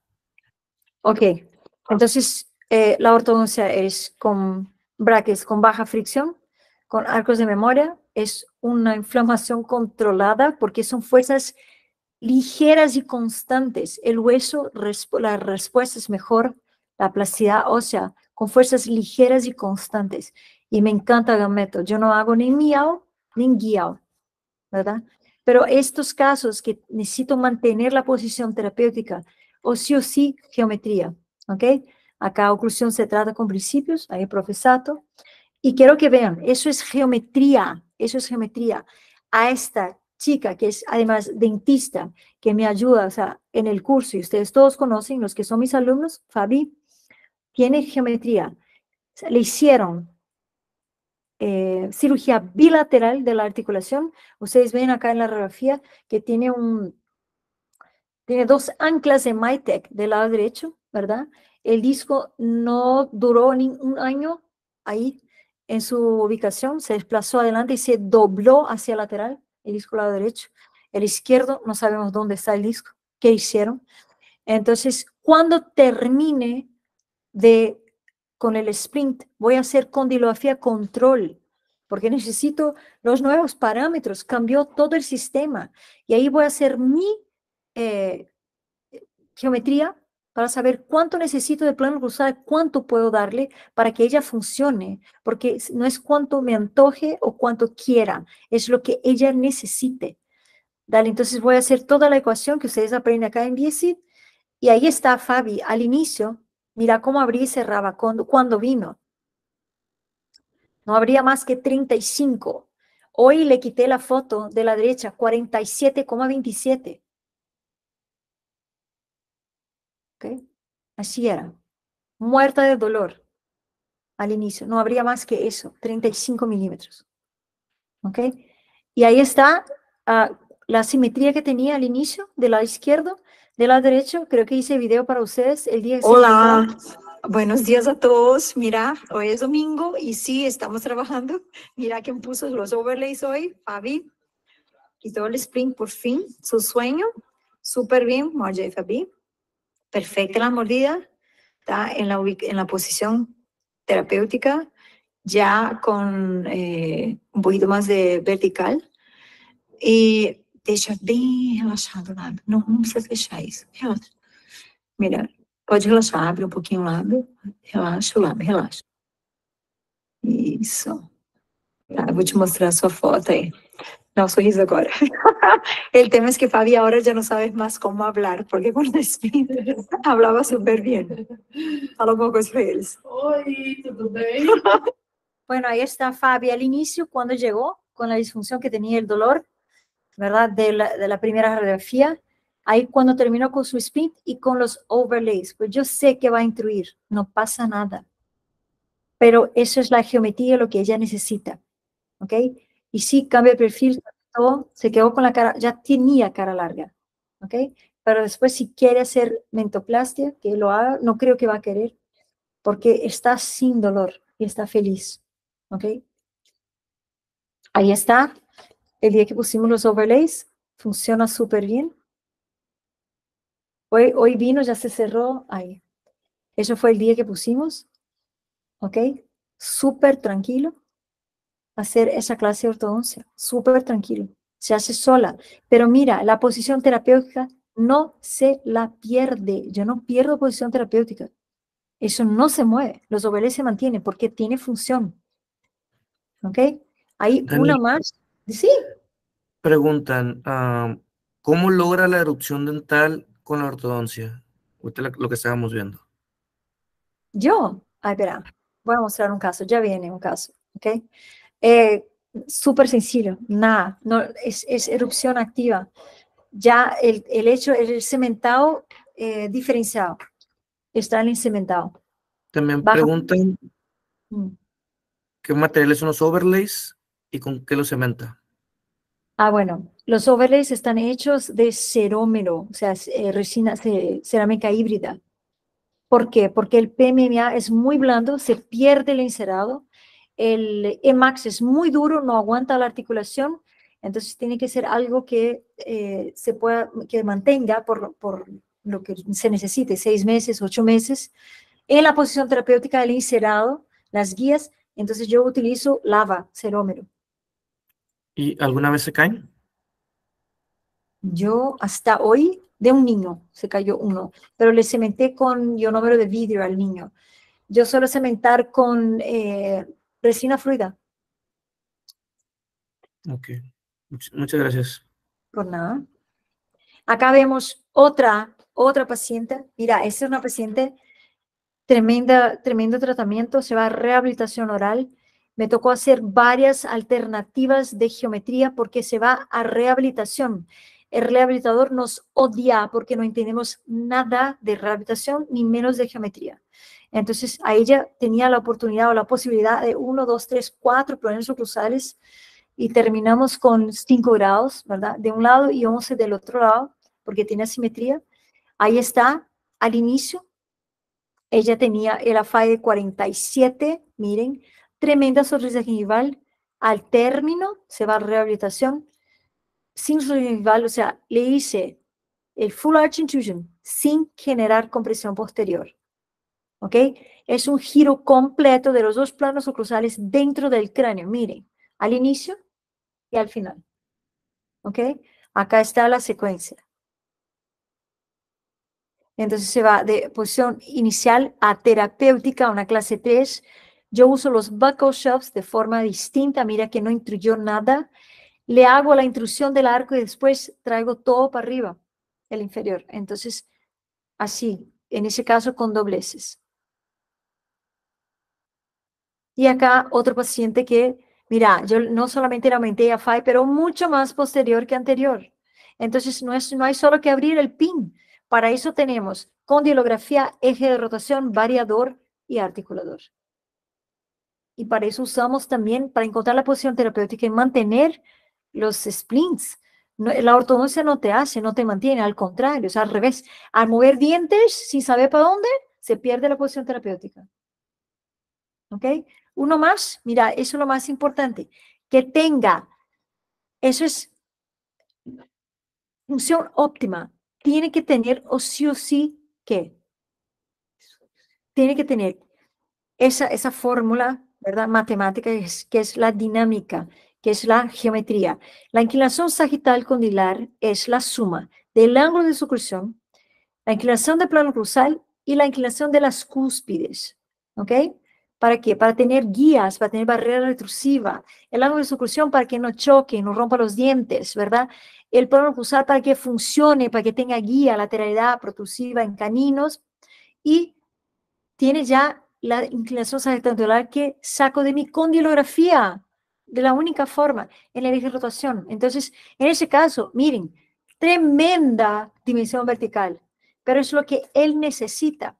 Ese señor vino muerto de dolor, parece el Bob Esponja, enorme, fuerte, necesita tremenda dimensión vertical y no puedo perder ni medio milímetro. Entonces, ¿qué voy a hacer? Erupción activa hasta que pueda ponerle overlays. Miren, ahí está. Lo más importante, tremendo braqui, bruxómetro, enorme era el señor. Necesita un ángulo de extrusión de lo mínimo, mínimo 10 grados. Entonces, en mi geometría, puedo tener un plano cruzal derecho de 7, izquierdo de 8. Entonces, y voy a hacer, ahí está el ángulo, ¿por qué el ángulo de soclusión? Mira qué pasa con el paciente que no tiene ángulo de soclusión. Eso va a pasar. ¿Ok? Eso es el ángulo de desoclusión. Tiene que ser de 8 a 12 grados. En ese caso le puse 10 y mira cómo le hice. Es muy trabajoso. Ahí está. Tengo mi articulador, mi montaje, mi condilografía control. Voy a sacar de mi mesa oclusal cuánta es la altura de, del, cuánto tengo que hacer de erupción activa del inferior ¿Dónde ubico el plano oclusal? En el superior. Ahí está. Mezclo los dos para sacar la posición terapéutica y el plano cruzal que quiero. Ahí pongo la mesa en el inferior donde tiene que estar, entonces voy a extruir mucho más superior, o, sea, erupcionar mucho más superior que inferior. Ahí voy. Vamos a hacerle el encedado para hacerle un splint, para mantener la posición, para primero traer los molares, porque es, sí, cierto, demasiada la emisión vertical. Ahí está.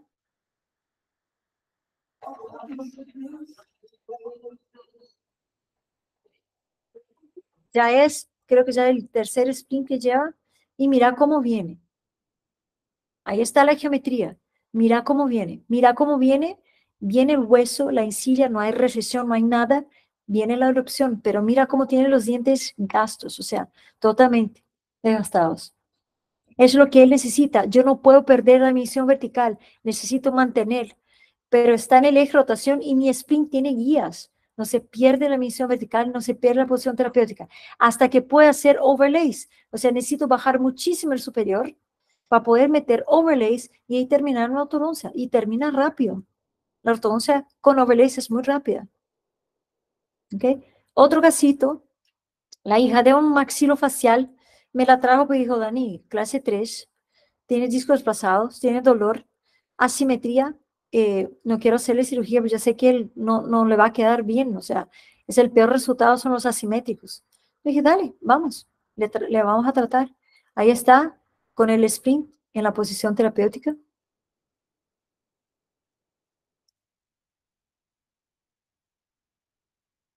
Y vamos, uy, perdón, ahí al Hola Dani, Hola, ¿cómo estás? Gusto bien, ¿y vos? verte. Pregunta. Mira, sí, hay unas preguntas para vos. Eh, la doctora Cristina Castillo eh, dice, te pregunta que si en los casos de adherencias se realizan artrocentesis. No. En caso de adherencia, realizo distracción. Baja el cóndilo, baja el disco. Ok, perfecto. Y también hay otra de Fabián Barreto. Ok. ¿Cómo evitas la intrusión generada por los mini tornillos en el buccal shelf? Ah, venga al curso en Tijuana. Se evita. Súper. Se evita. Y una más. Dale. Si el paciente es dólico facial al final del tratamiento. Eh, mencionó que puede terminar más dólico facial, pero sin dolor. Sí. Sí, sí, el paciente ya es dólico, por ahí termina un poco más dólico. Mira, tranquilos, pues yo no le dejo a mis pacientes feos, si no me voy a la bancarrota, ¿ok?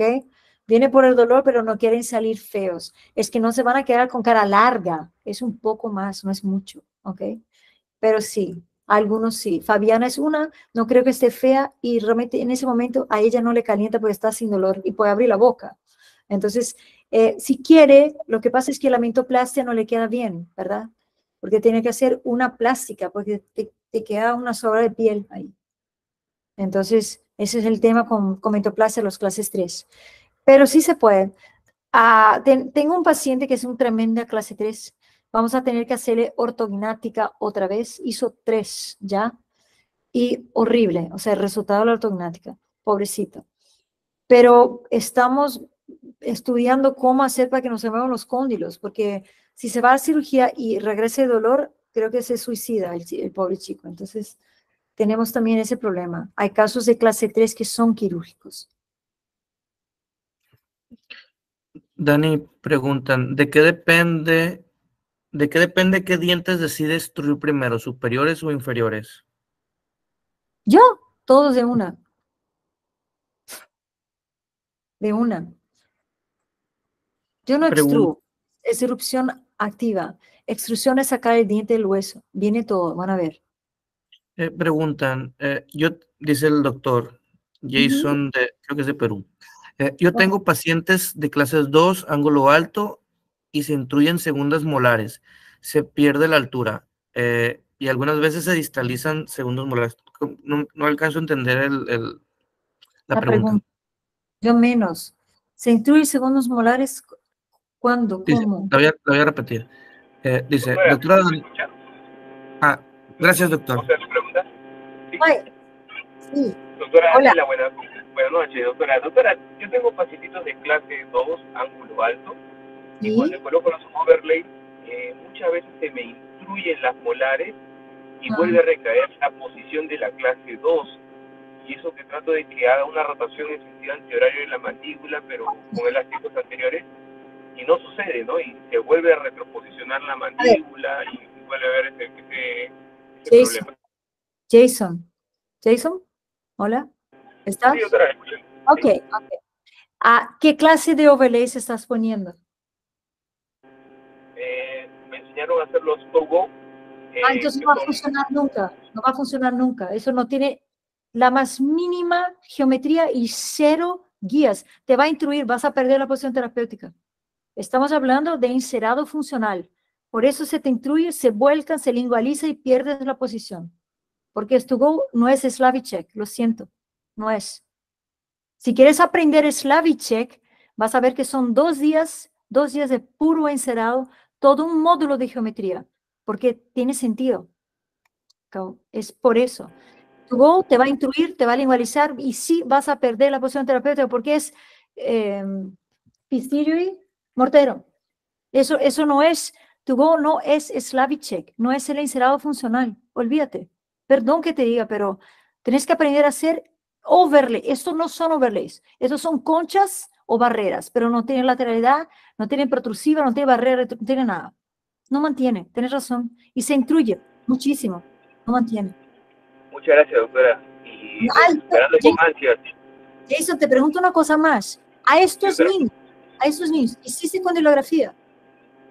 Mire, le soy muy sincero, eh, hasta donde hemos hecho, eh, no he podido hacer condilografía, pero en la actualidad ya estoy trabajando un poco más con condilografía, doctora. Ok, porque te, te digo más. Eh, el concepto de Slavicek está hecho, la posición terapéutica es, es con splint y a un niño con un articulador semiajustable al ojo, ¿verdad? Hacer un tubo no te va a funcionar nunca, Jason, lo siento. ¿Ok? Te vamos a dar un caso ahora que se mantuvo años, vas a ver. De clase 2. Dale, dame un minuto. ¿Más preguntas? Sí. Sí. Le- lee tú, Luis, por favor.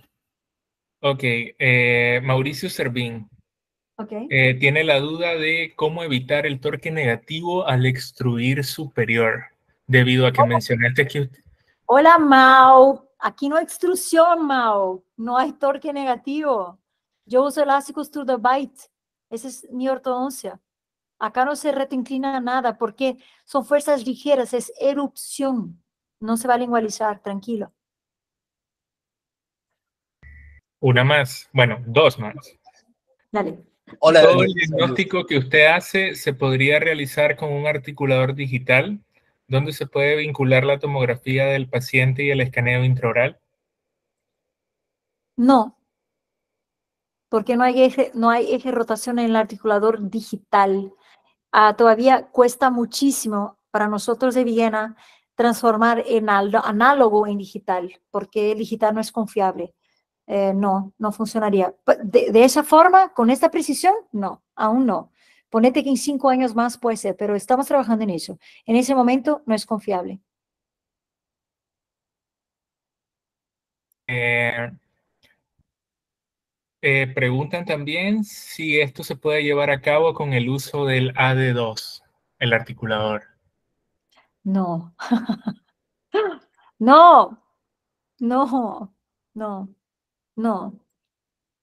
Si quieren hacer eso, tienen que tener material adecuado, ¿ok? No, no sirve. El concepto, la geometría, todo está hecho para el concepto de Slavicek y nosotros usamos gamma, el reference.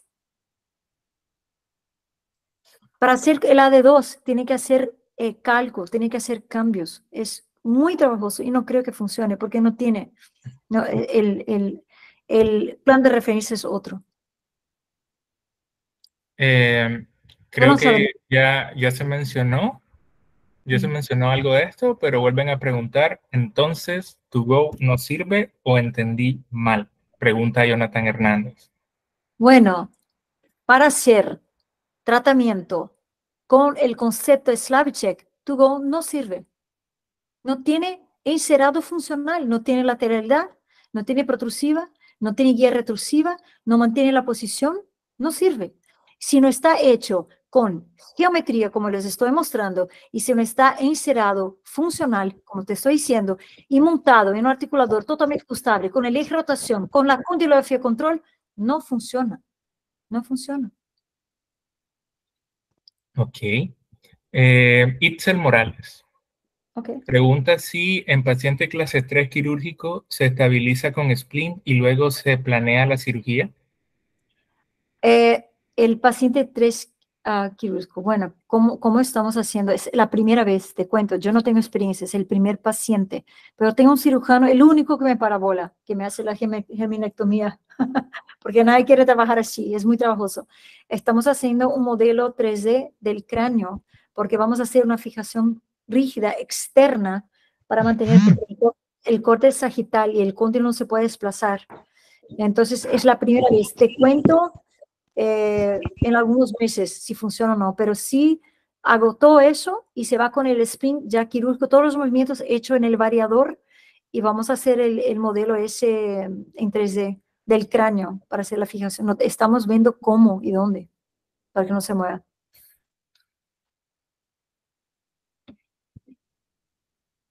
Eh, bueno, entonces continuamos. Dejamos las preguntas para después. Bueno, ya un ratito les voy a mostrar un poquito más y un caso porque ya no me aguanto más, ¿cierto? Ahí vamos. La geometría de esa paciente, que es la asimétrica. Miren, ¿quién me preguntó si yo hago la extrusión? Mauri, los dos juntos, bajan juntos. Es muy sencillo. Y mira, ¿quién me dijo que pierde Jason? La, con el encerado funcional, con la condilografía control, en el plan de referencia, como le estoy mostrando con, todo, con todos los chiches, o sea, que tiene Viena, todo que tenemos que usar de la forma correcta, no se pierde la posición terapéutica en ningún momento. ¿Ok? Acá lleva dos buckle shelves, distala todo junto. No se intruye. Mira el último molar. Extruye, no intruye. ¿Ok? Y más, mire la panorámica. Viene hueso, encilla, diente, viene todo. Erupción activa, no es extrusión. Ahí está. Cuando vino, posición terapéutica, y en ese momento, ahora me toca casi, casi listo el caso. ¿Ok? Bueno, tengo muchos. Eso es erupción pasiva. Mira, Jason, una vez más, perdón. Este, estos overlays en la misma posición terapéutica, ¿tá? Tiene año y medio. Mira, no cambió nada. Yo no puse un solo braque. Eso no es intrusión, eso es erupción. El niño creció. Erupción pasiva. Mira cómo los dientes se buscan. ¿ok? No tiene dientes para que yo ponga eh, frenillos son. Erupción pasiva. Ese caso les mostré ya. Y bueno, ¿qué se puede hacer con Slavicek? No solamente tratar el paciente disfuncional, pero también esos niños que son muy disfuncionales. Mira la torsión que tiene. Poder redireccionar el crecimiento de un niño. Mira cómo es al inicio, medio, cómo está ahora, con brackets ya. Mira cómo creció, cómo cambió y mira su cuerpo, cómo va creciendo, cómo era al inicio y cómo está. Esa es la belleza de la medicina de la oclusión. ¿Ok? Les voy a mostrar, espera, tengo mucho más, pero ahí creo que ese, ese sí es interesante. Y uno último. Ok, acá una lesión mixta, categoría 2. Un niño que tenía dolor en el hígado y este sí tenía migrañas todos los días. Ok, acá viene, es hijo de un prosodoncista con mamá ortodoncista. Y ya dijo que no sabía más qué hacer con su niño. Puse en un grupo de WhatsApp y él, estas fotos que les estoy mostrando. Y en ese momento dije, eh, en el grupo, le dije, me dijo, ya hice de todo y el niño clase 2, trancado, tiene- ¿qué hago?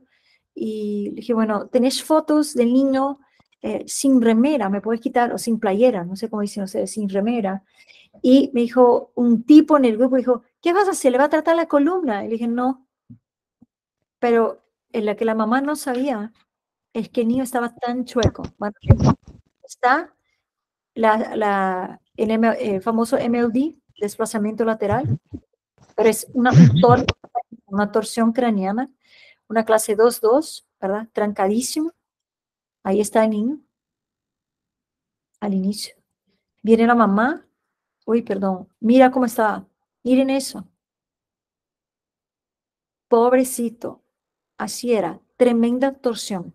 Eso es torsión craneana. ¿ok? Y la mamá, hasta que yo le pedí la foto, no se dio cuenta que su niño estaba tan chueco. Ahí vamos, mira la carita de dolor cuando llegó. Muerto de dolor.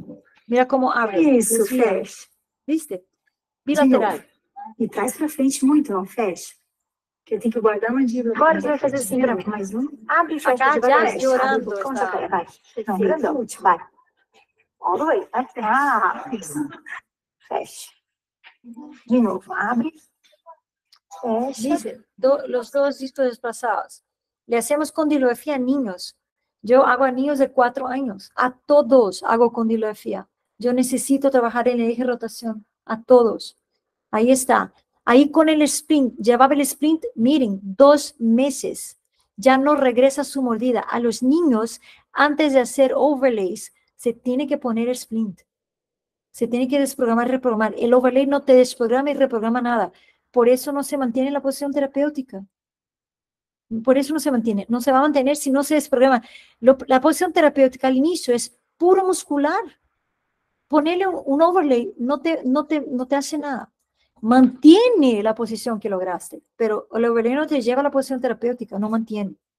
Pode abrir? Ahí mira, en dos meses. Fecha. Abre bem grande. Ah.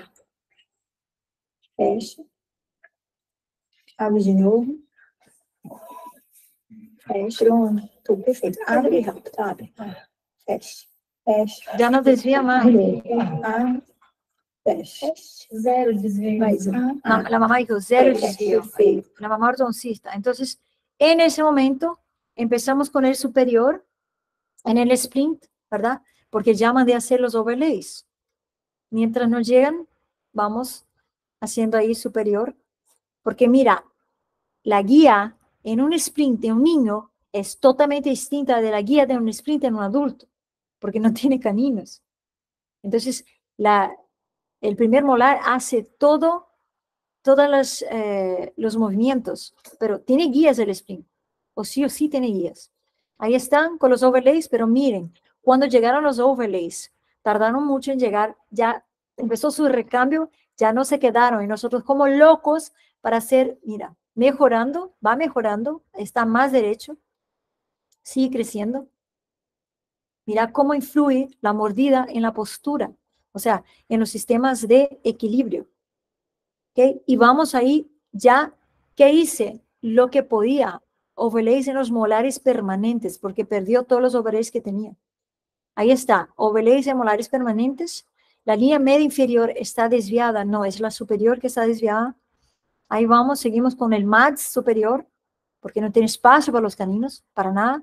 El MADS superior y los overlays puestos, y no se pierde la posición terapéutica. Seguimos con el MADS y el niño va creciendo, va terminando su recambio y está en el molar permanente, el único que había. Tiene asimetría, los overlays son asimétricos y ahí sigue el niño. Entonces, estamos hablando, ese recambio y todo eso tiene más de un año. Acá no se perdió la posición terapéutica. En ningún momento. Ahí está el niño, mejor y sin dolor. Mira cómo va creciendo.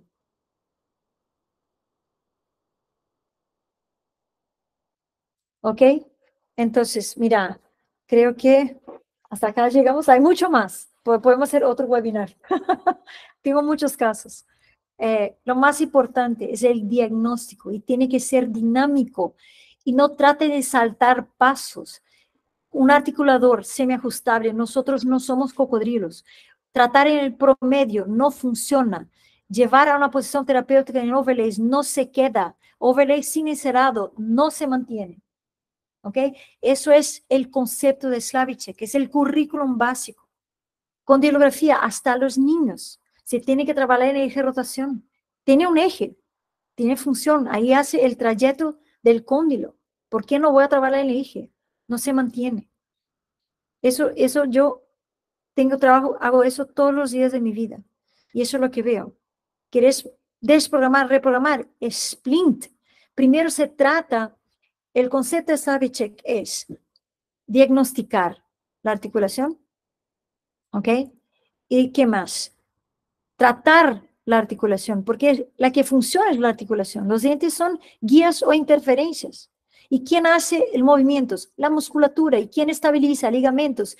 ¿Y quién eh, coordina todo eso? El sistema nervioso central. Entonces, nuestros splints van a actuar directamente en el sistema nervioso central desprogramación, reprogramación de qué? Del sistema neuromuscular.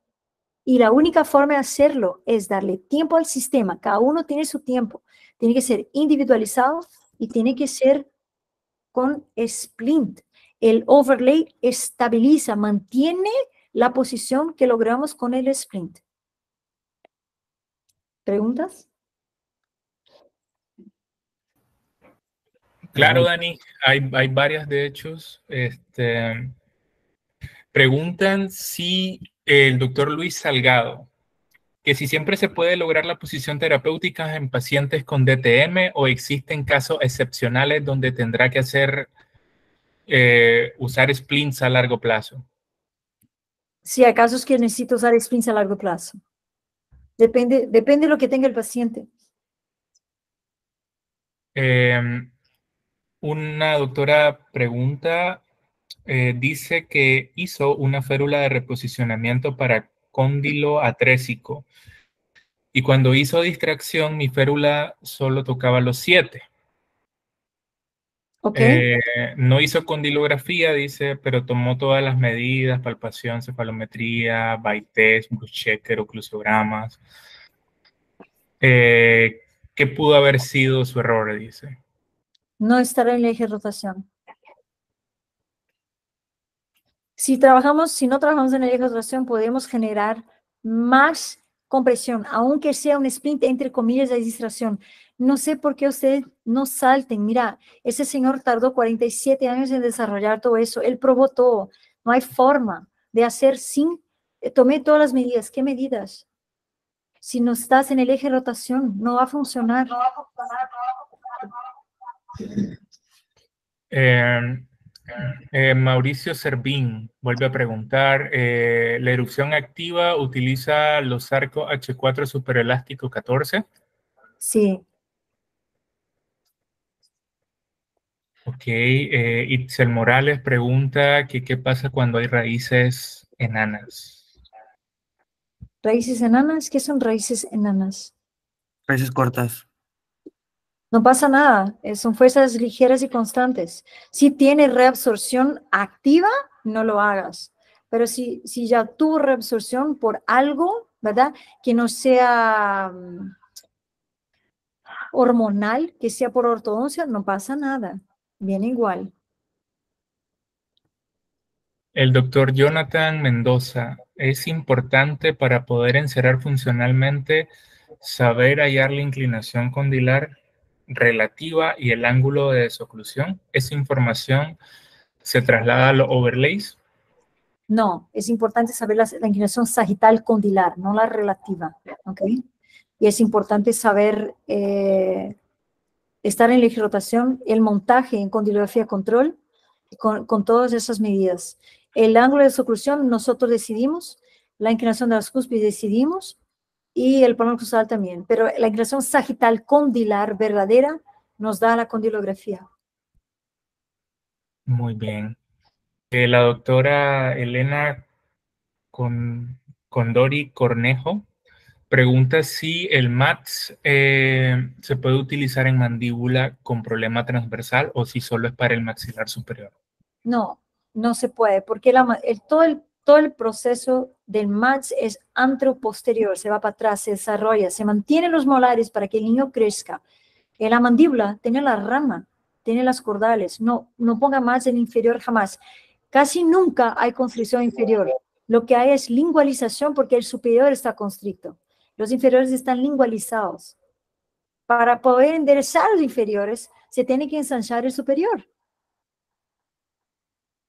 Ok, perfecto. Cristina Castillo pregunta que si las neuralgias del trigémino pueden ser mejoradas con el método de trabajo de Biesit. Bueno, si hacemos el diagnóstico que la neuralgia del trigémino viene por desafrentación de la articulación temporomandibular, sí, todo está en el diagnóstico. Muy bien. Eh, en Ingrid Paiva, en un paciente con clase 3 severa, ángulo alto, de 7 años, ¿también trataría con overlays? Ay, Ingrid, ¿verdad? Eh, no sé, no veo tu caso. Un caso de ángulo alto clase 3 son los más difíciles de tratar a los 7 años. Bueno, yo trataría, no sé, tengo que ver tu caso, pero los over, mira, el, no sé de dónde sacaron ustedes que el overlay trata. El overlay no trata a nadie, mantiene. El overlay es una forma de mantener la posición terapéutica. Yo no trato a nadie, no trato a nadie con overlays. Yo trato primero con splints. Encuentro la posición terapéutica, después mantengo con los overlays, porque los niños necesitan crecer y una férula eh, no, le, no le permite crecimiento. Pero no, olvídense, mira, por favor, overlay no está hecho para tratar, ¿ok? El tratamiento no es con overlay, mantiene la posición que encontramos. Muy bien. Eh, Augusto Macedo pregunta, ¿cuándo es el siguiente curso de Visit Brasil? Ay, no, Ormandi, tenemos un curso arrancando ahora la primera semana de junio. Sí, es el primer módulo es el 3 y el 7 de junio y ya quedan dos cupos. Bueno, saquemos fecha entonces. Sí, creo que se llena. Eh, siguen las preguntas, Dani. Dale, Cada, cada cuánto toma las tomografías, además de la de diagnóstico, para valorar la remodelación del cóndilo? a cada dos años. Ok. Y mira, la Eh, tomografía que tomo es menos radiación que una panorámica, porque solo las articulaciones y de bajo, de bajo volumen, ¿ok? Perfecto. Mm, Laura acá pregunta, ¿la ortopedia clásica debería ser reemplazada por el uso de los splints en el niño para tratar el trata- para empezar el tratamiento? Ay, difícil, ¿verdad? Porque son conceptos totalmente distintos. La ortopedia funcional no tiene el mismo concepto que nosotros. Entonces, yo ya, yo ya hice, ya usé, no funciona. Entonces, eh, no, no entiende crecimiento y desarrollo como nosotros vemos. Entonces, no creo que funcione ortopedia funcional. Nunca funcionó, ¿verdad? Si funcionara, no necesitaríamos nada de eso, te cuento. Están pidiendo curso terapéutico, Dani. Bueno, les cuento que estamos en eso. Vamos a armar cinco cursos porque eh, el terapéutico que, que como yo hago y ustedes vieron, ustedes que son mis alumnos, es con splint, ¿verdad? Después overlay, después viene la ortodoncia. Ustedes tienen que saber cómo hacer la ortodoncia al final. No hace falta hacer dobleces. Ok. Este, el doctor Ignacio Guerra eh, dice que es muy bueno escuchar hablar de natología de esta manera. Te felicita y dice que esto quiere decir que sigue latente en una nueva generación. Ok. Eh, Tami Gallardo pregunta que, ¿cuál es el condilógrafo que usted usa? Cardiacs, cuatro. Geometridas. tenés, tenés público de todas las edades, Dani. Me encantan los niños. Ok. eh, preguntan que si es importante la prescripción. Eh, que yo uso, no, porque nunca lleno el slot. A mí me gustan los H4 porque tiene una tapa rígida y con la tapa rígida no sale el arco. Si tengo, si tengo ligaduras o tengo gomitas, si me escapa, un desastre. Entonces yo prefiero tapas rígidas que no sale el arco, funciona.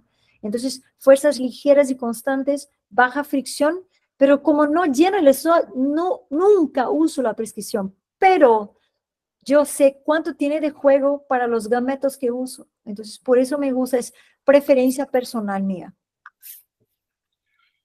Muy bien. Ah, ¿Alguna otra pregunta, doctores? Pueden abrir el micrófono levantando la mano o escribirle en el chat para que el doctor Luis o yo lo podamos leer. Este, mientras pasan las preguntas, pues eh, estamos proyectando lo que es el, flyer del próximo congreso, eh, del congreso anual del COICH, eh, que es el Colegio de Ortodoncia de- del Estado de Chihuahua.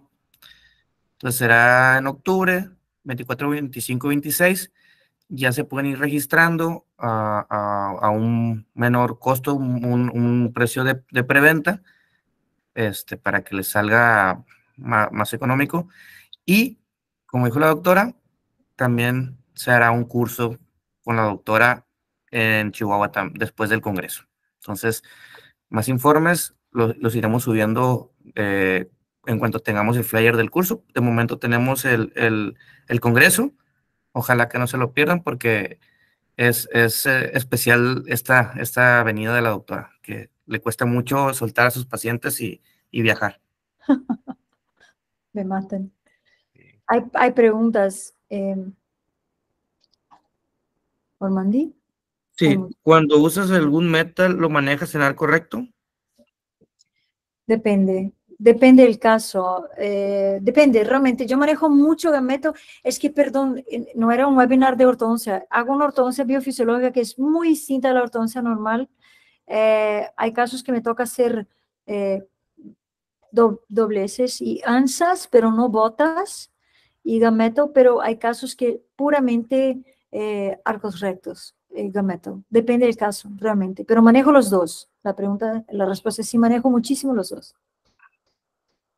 Luis Medrano, ¿quieres una pregunta? Luis, porfa, abre el micro.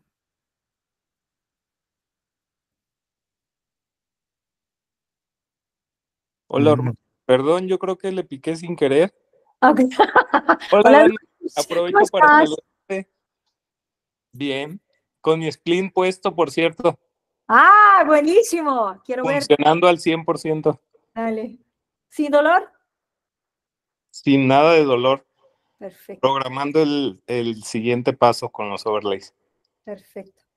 Mira, perfecto. Bueno, acá una pregunta. ¿Quién me preguntó? Jesús. No encuentro. Eh, igual aprovechando, antes de que se vayan, para agradecer a los de- al, al Colegio de Ortodoncistas del Estado de Chihuahua por su colaboración para la realización de, esta, de este webinar, al doctor Ormandi, igual por apoyar para este, hacer el enlace con la doctora, a la editorial Amolca, y también agradecemos presencia de diferentes asociaciones, de la Academia Nicaragüense de Ciencias de la Oclusión, asociaciones de ortodoncia de, de México, asociaciones de ortodoncia de Guatemala, diferentes universidades de diversos países. Y pues igual, eh, gracias por, a la doctora por darnos de su tiempo para estas pláticas. Igual All White, nuestra casa comercial, por este, siempre es un gusto apoyar con la educación continua. Muchísimas gracias. Gracias, Mario. ¿Qué- qué pre- había una pregunta. Jonathan, ¿levantaste la mano también? Sí, este, buenas noches, doctora Daniela, ¿qué tal? Saluda Jonathan de Perú. Hola. Quería, este, he, he escuchado bastante sobre el uso del variator. Yo quería saber, me comentaron que usted tiene bastante experiencia, quería saber en qué casos se usa y, es tan importante en el tratamiento tener el variator o solamente con un gamma dental, un condilógrafo se podría resolver los casos este, severos de disfunción. No, si son casos severos, más vale que tengas el variator. Yo, toda la posición terapéutica, uso el variator. Casos severos o casos sencillos que no tengo, son- todos, todos son severos. Si quiero hacer reposicionamiento mandibular controlado, voy a usar el variador, siempre, Ah, ya, ya. siempre. El articulador no me sirve. Yo hago, funciona en mi articulador, remonto en el articulador, pero utilizo el variador para hacer los cambios que necesite. Y específicamente se usa cuando hay una, eh, una MLD y hay un, una- un desvío a nivel del cóndilo, a nivel transversal, cuando hay alguna alteración a nivel transversal. Jonathan, yo uso a todos los casos que quiero reposicionamiento, uso el variador porque me permite eh, milímetros. O sea, yo lo que quiero es 0,3, 0,5. El articulador no me permite eso. Si tengo un delta Y, voy a llevar, voy a tratar mi delta Y de 0,3 o de 1,7. El articulador no permite cambios transversales. No voy a usar articulador. No está hecho para eso, es el variador. Ah, ya, doctora, gracias. Doctora, y otra consulta, este, le había respondido ahí en, en este en comentario sobre Ah. la inclinación condilar relativa. Usted me dice que no, no, no es necesario para hacer un encerado de funcional, sino más bien el ángulo de subclusión. Pero creo que está- tenía entendido que eh, es importante hallar también la inclinación de condilar relativa para hallar el ángulo de subclusión, o, o, o entendí mal eh, la respuesta que me dio. Mira, la inclinación, ¿por qué, por qué quieres la inclinación sagital relativa? ¿Es relativa qué? La inclinación condilar relativa, este, tenía entendido que era para hallar el ángulo de decía No. hallar, ¿no? No, no, no. El ángulo es la, la, la geometría que te puse ahí. El SCI es la suma. El ángulo de subclusión nosotros decidimos, ¿verdad? Eh, basado en la inclinación sagital condilar, el plano cruzal que queramos y la inclinación de las cúspides. Es una geometría. Y ahí vamos, y ahí, mira, Jonathan, yo decido en el papel, pero llevo a mi articulador a probar si funciona. Si no funciona, voy a cambiar. Ah, ya, ya, ya. ¿ok? Porque hace- hacemos eso basado en la condilografía y, y yo mirando una, una cefalometría, pero no es así. El articulador, o sea, montado en el articulador es donde yo veo si es posible o no. Siempre hay que llevar a la clínica. Ahí encontramos la interferencia o, y ahí, este, lo, según la norma que ha mencionado, de, de 8 a, a, a 10 y ahí hacemos la variación. Entonces, no siempre es, este, es lo, que te, lo que te manda la fórmula, no siempre es real con lo que dice el, el- Lo que, mira, la fórmula yo hago basado en el SCI que tenga y la, y la cefalometría. Pero si yo veo, yo llevo a mi articulador, ¿verdad? Y tengo bilateral, dos lados, y no puedo trazar independiente de un lado a otro. Con la mesa oclusal voy a probar si yo lo que, si lo que hice, lo que saqué funciona. Si no funciona, voy a hacer otra geometría. Ah. Gracias. Nada. Doctora, Sí. eh, había otra pregunta por acá arriba. Dice, ¿por qué hay tanta diferencia en la biomecánica de tratamiento de Biosit Brasil y Biosit Colombia si todo es Biosit? Yo no sé cuál es la biomecánica de Biosit Colombia, pero Biosit, no sé. Dice que hace Colombia hace to go. Ah, bueno, pero les cuento, To Go no es Biosit. No, no está bajo el paraguas de Biosit, no es Slavicek.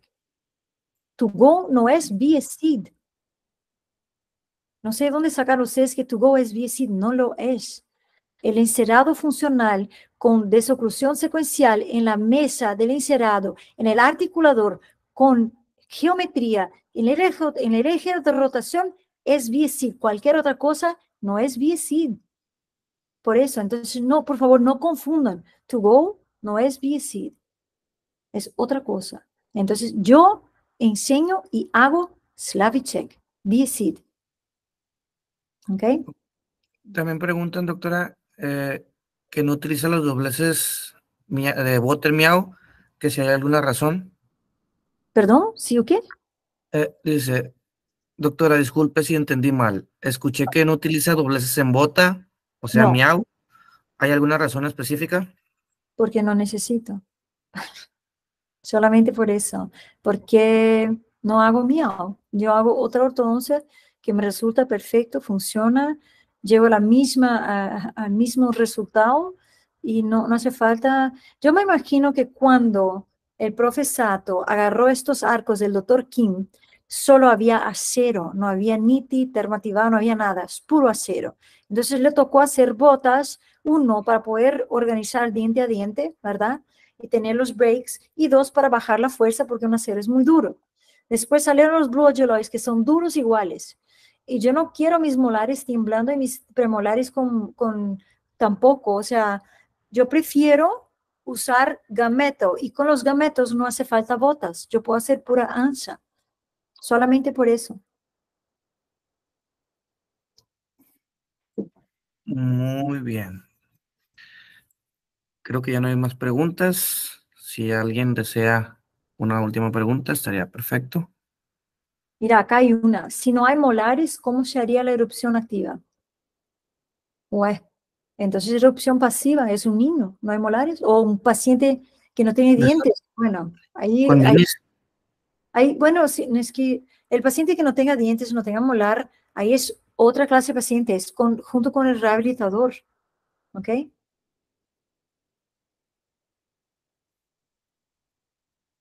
pregunta una más. Ujú.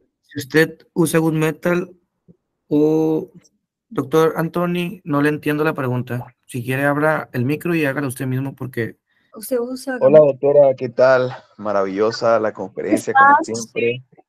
Una Gracias. genio usted. De verdad que sí.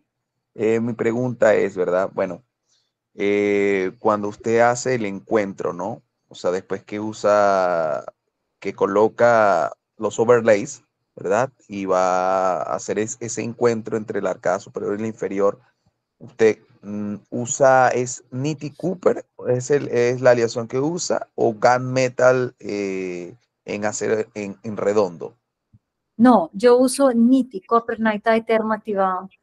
Ah, termoactivado. Termoactivado. Tiene que ser de calidad, si no, ya se desbarata todo solo de mirar. Estos chinitos no funcionan. Entonces, eh, Copper Niti, termoactivado. Y el control del y el control del torque ya lo hace ya después, o sea, de ese redondo pasa a un rectangular, supongo, ¿no? Anthony, mira, ya sé que ustedes, como, como nosotros aprendimos que al hacer extru- extrusión, mira, eso, eso es distinto. Al hacer extrusión se lingualiza, cierto. Pero yo Sí. estoy haciendo erupción activa, viene el hueso, el diente viene vertical porque es muy blanda la fuerza y yo uso el Ascos through the bite. Toda mi mecánica de ortodoncia biofisiológica es through the bite. Entonces, bajando con elásticos que, que son through the bite, no lingualiza, tranquilo. Pero después, cuando baje todo, es puro redondo. Yo a rectangular no voy hasta que no se cierre, Ah, ya, perfecto, ¿ok? perfecto, perfecto, doctora. Muchísimas gracias. Por nada. Hay, hay otra pregunta. ¿Cómo estimula el desarrollo anteroposterior posterior del maxilar en niños? Eh, solamente con los MADS.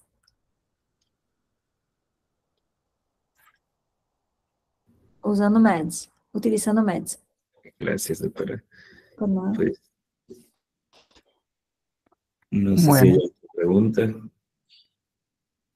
mientras este, se hace alguna otra pregunta, el Colegio de Chihuahua nos hizo el favor de enviar un reconocimiento a la doctora por esta gran charla que nos dio. Dani, te agradezco. Este, Gracias a o sea, ustedes. yo sé lo mucho que, que- que trabajas, sé lo que estás batallando con lo, del- con lo de tu fractura del pie Este, y, a- y lo bueno es que, que, que ya estás un poquito mejor. Entonces, a todos los interesados en el, en el ah, Congreso, pues estamos a sus órdenes para darles información y próximamente tendremos toda la información del curso. El curso, lo más probable es que sea en Chihuahua también para aprovechar que la gente que tome el Congreso pueda tomar este también el curso y no se tengan que trasladar. Entonces, para mí, la verdad, por fin, ya logré ese pendiente que tenía de traer a la doctora, me lo habían estado pidiendo mucho. Ahora, creo que en mayo va a hablar eh, el, el, el maxilofacial que, le, que les hace la, las extracciones de, de, cordales. Y así poco a poco vamos a, a seguir trayendo más, más doctores que, que, están empapados en la filosofía de, del BIESIT. Sí, les va a encantar. Rodrigo se llama, el cirujano, buenísimo. Y me hace las cordales. Uh, Andrea, si, si gusta abrir su micrófono para preguntar, por favor.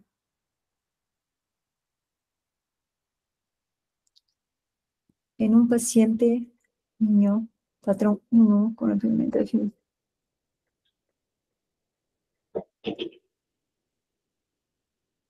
Ah, bueno, a un paciente niño, ya, ya leo acá, un paciente niño, patrón 1, con apiñamiento definitivo anterior, inferior, con el uso de los sprints, se podría evitar las extracciones personales que panza.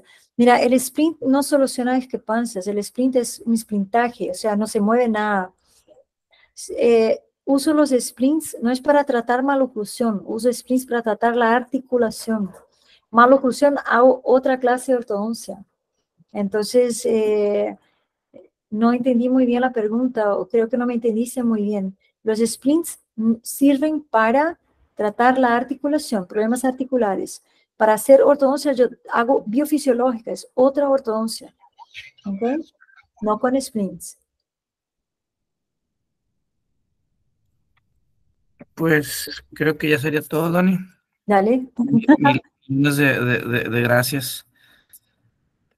Ok. Bueno, entonces buenas noches. Gracias por, por, por la invitación, por la oportunidad. Y siempre se queda más, ¿verdad? Hay mucho más que mostrar. Hay mucho más casos, vos sabés, Orlando. A mí me cuesta armar todo eso, perdón, pero um, seguimos les, entonces. Les voy, a, les voy a dejar mi número eh, en el chat para que puedan mandarle mensaje si desean información sobre el curso del BIESIT, porque solamente quedan dos plazas. Entonces, este, para el que desee tomarlo, me puede mandar mensaje.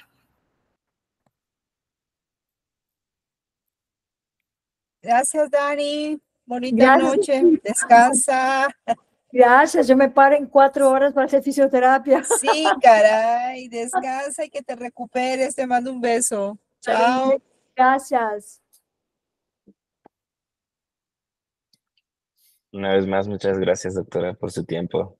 Gracias. Que pase bonita noche y que descanse. Dale. Un beso. Chao. Buenas noches. Buenas Bye. noches, Dani. Muchas gracias. Chao, Luisito. Besitos. Chao, Armandi. Chao. Chao. ¿Qué? ¿Quieren hacer unas preguntas, no, doctoras, o ya no? Porque veo que están levantando la mano. No, como que se equivocan. Muy bien. Sí. Un beso, Dani. Dale un beso. Buenas gracias, doctora Dani. Gracias. Felicidades y bendiciones. Y que se recupere pronto. Gracias. Chao. Buenas noches. Chao, Dani. Buenas noches. La información del curso es al número que aparece en el, en el flyer. En el flyer es del Congreso, doctor. Ah, ya. Para... ¿Lo del curso? Lo del curso Ahí está en el chat. Ahí lo estamos, lo estamos enviando otra vez. Ok. El, el que dice 52, 664. Que termina en 54.1. Ah, ya, perfecto. Ok, muchas gracias. Usted, doctor.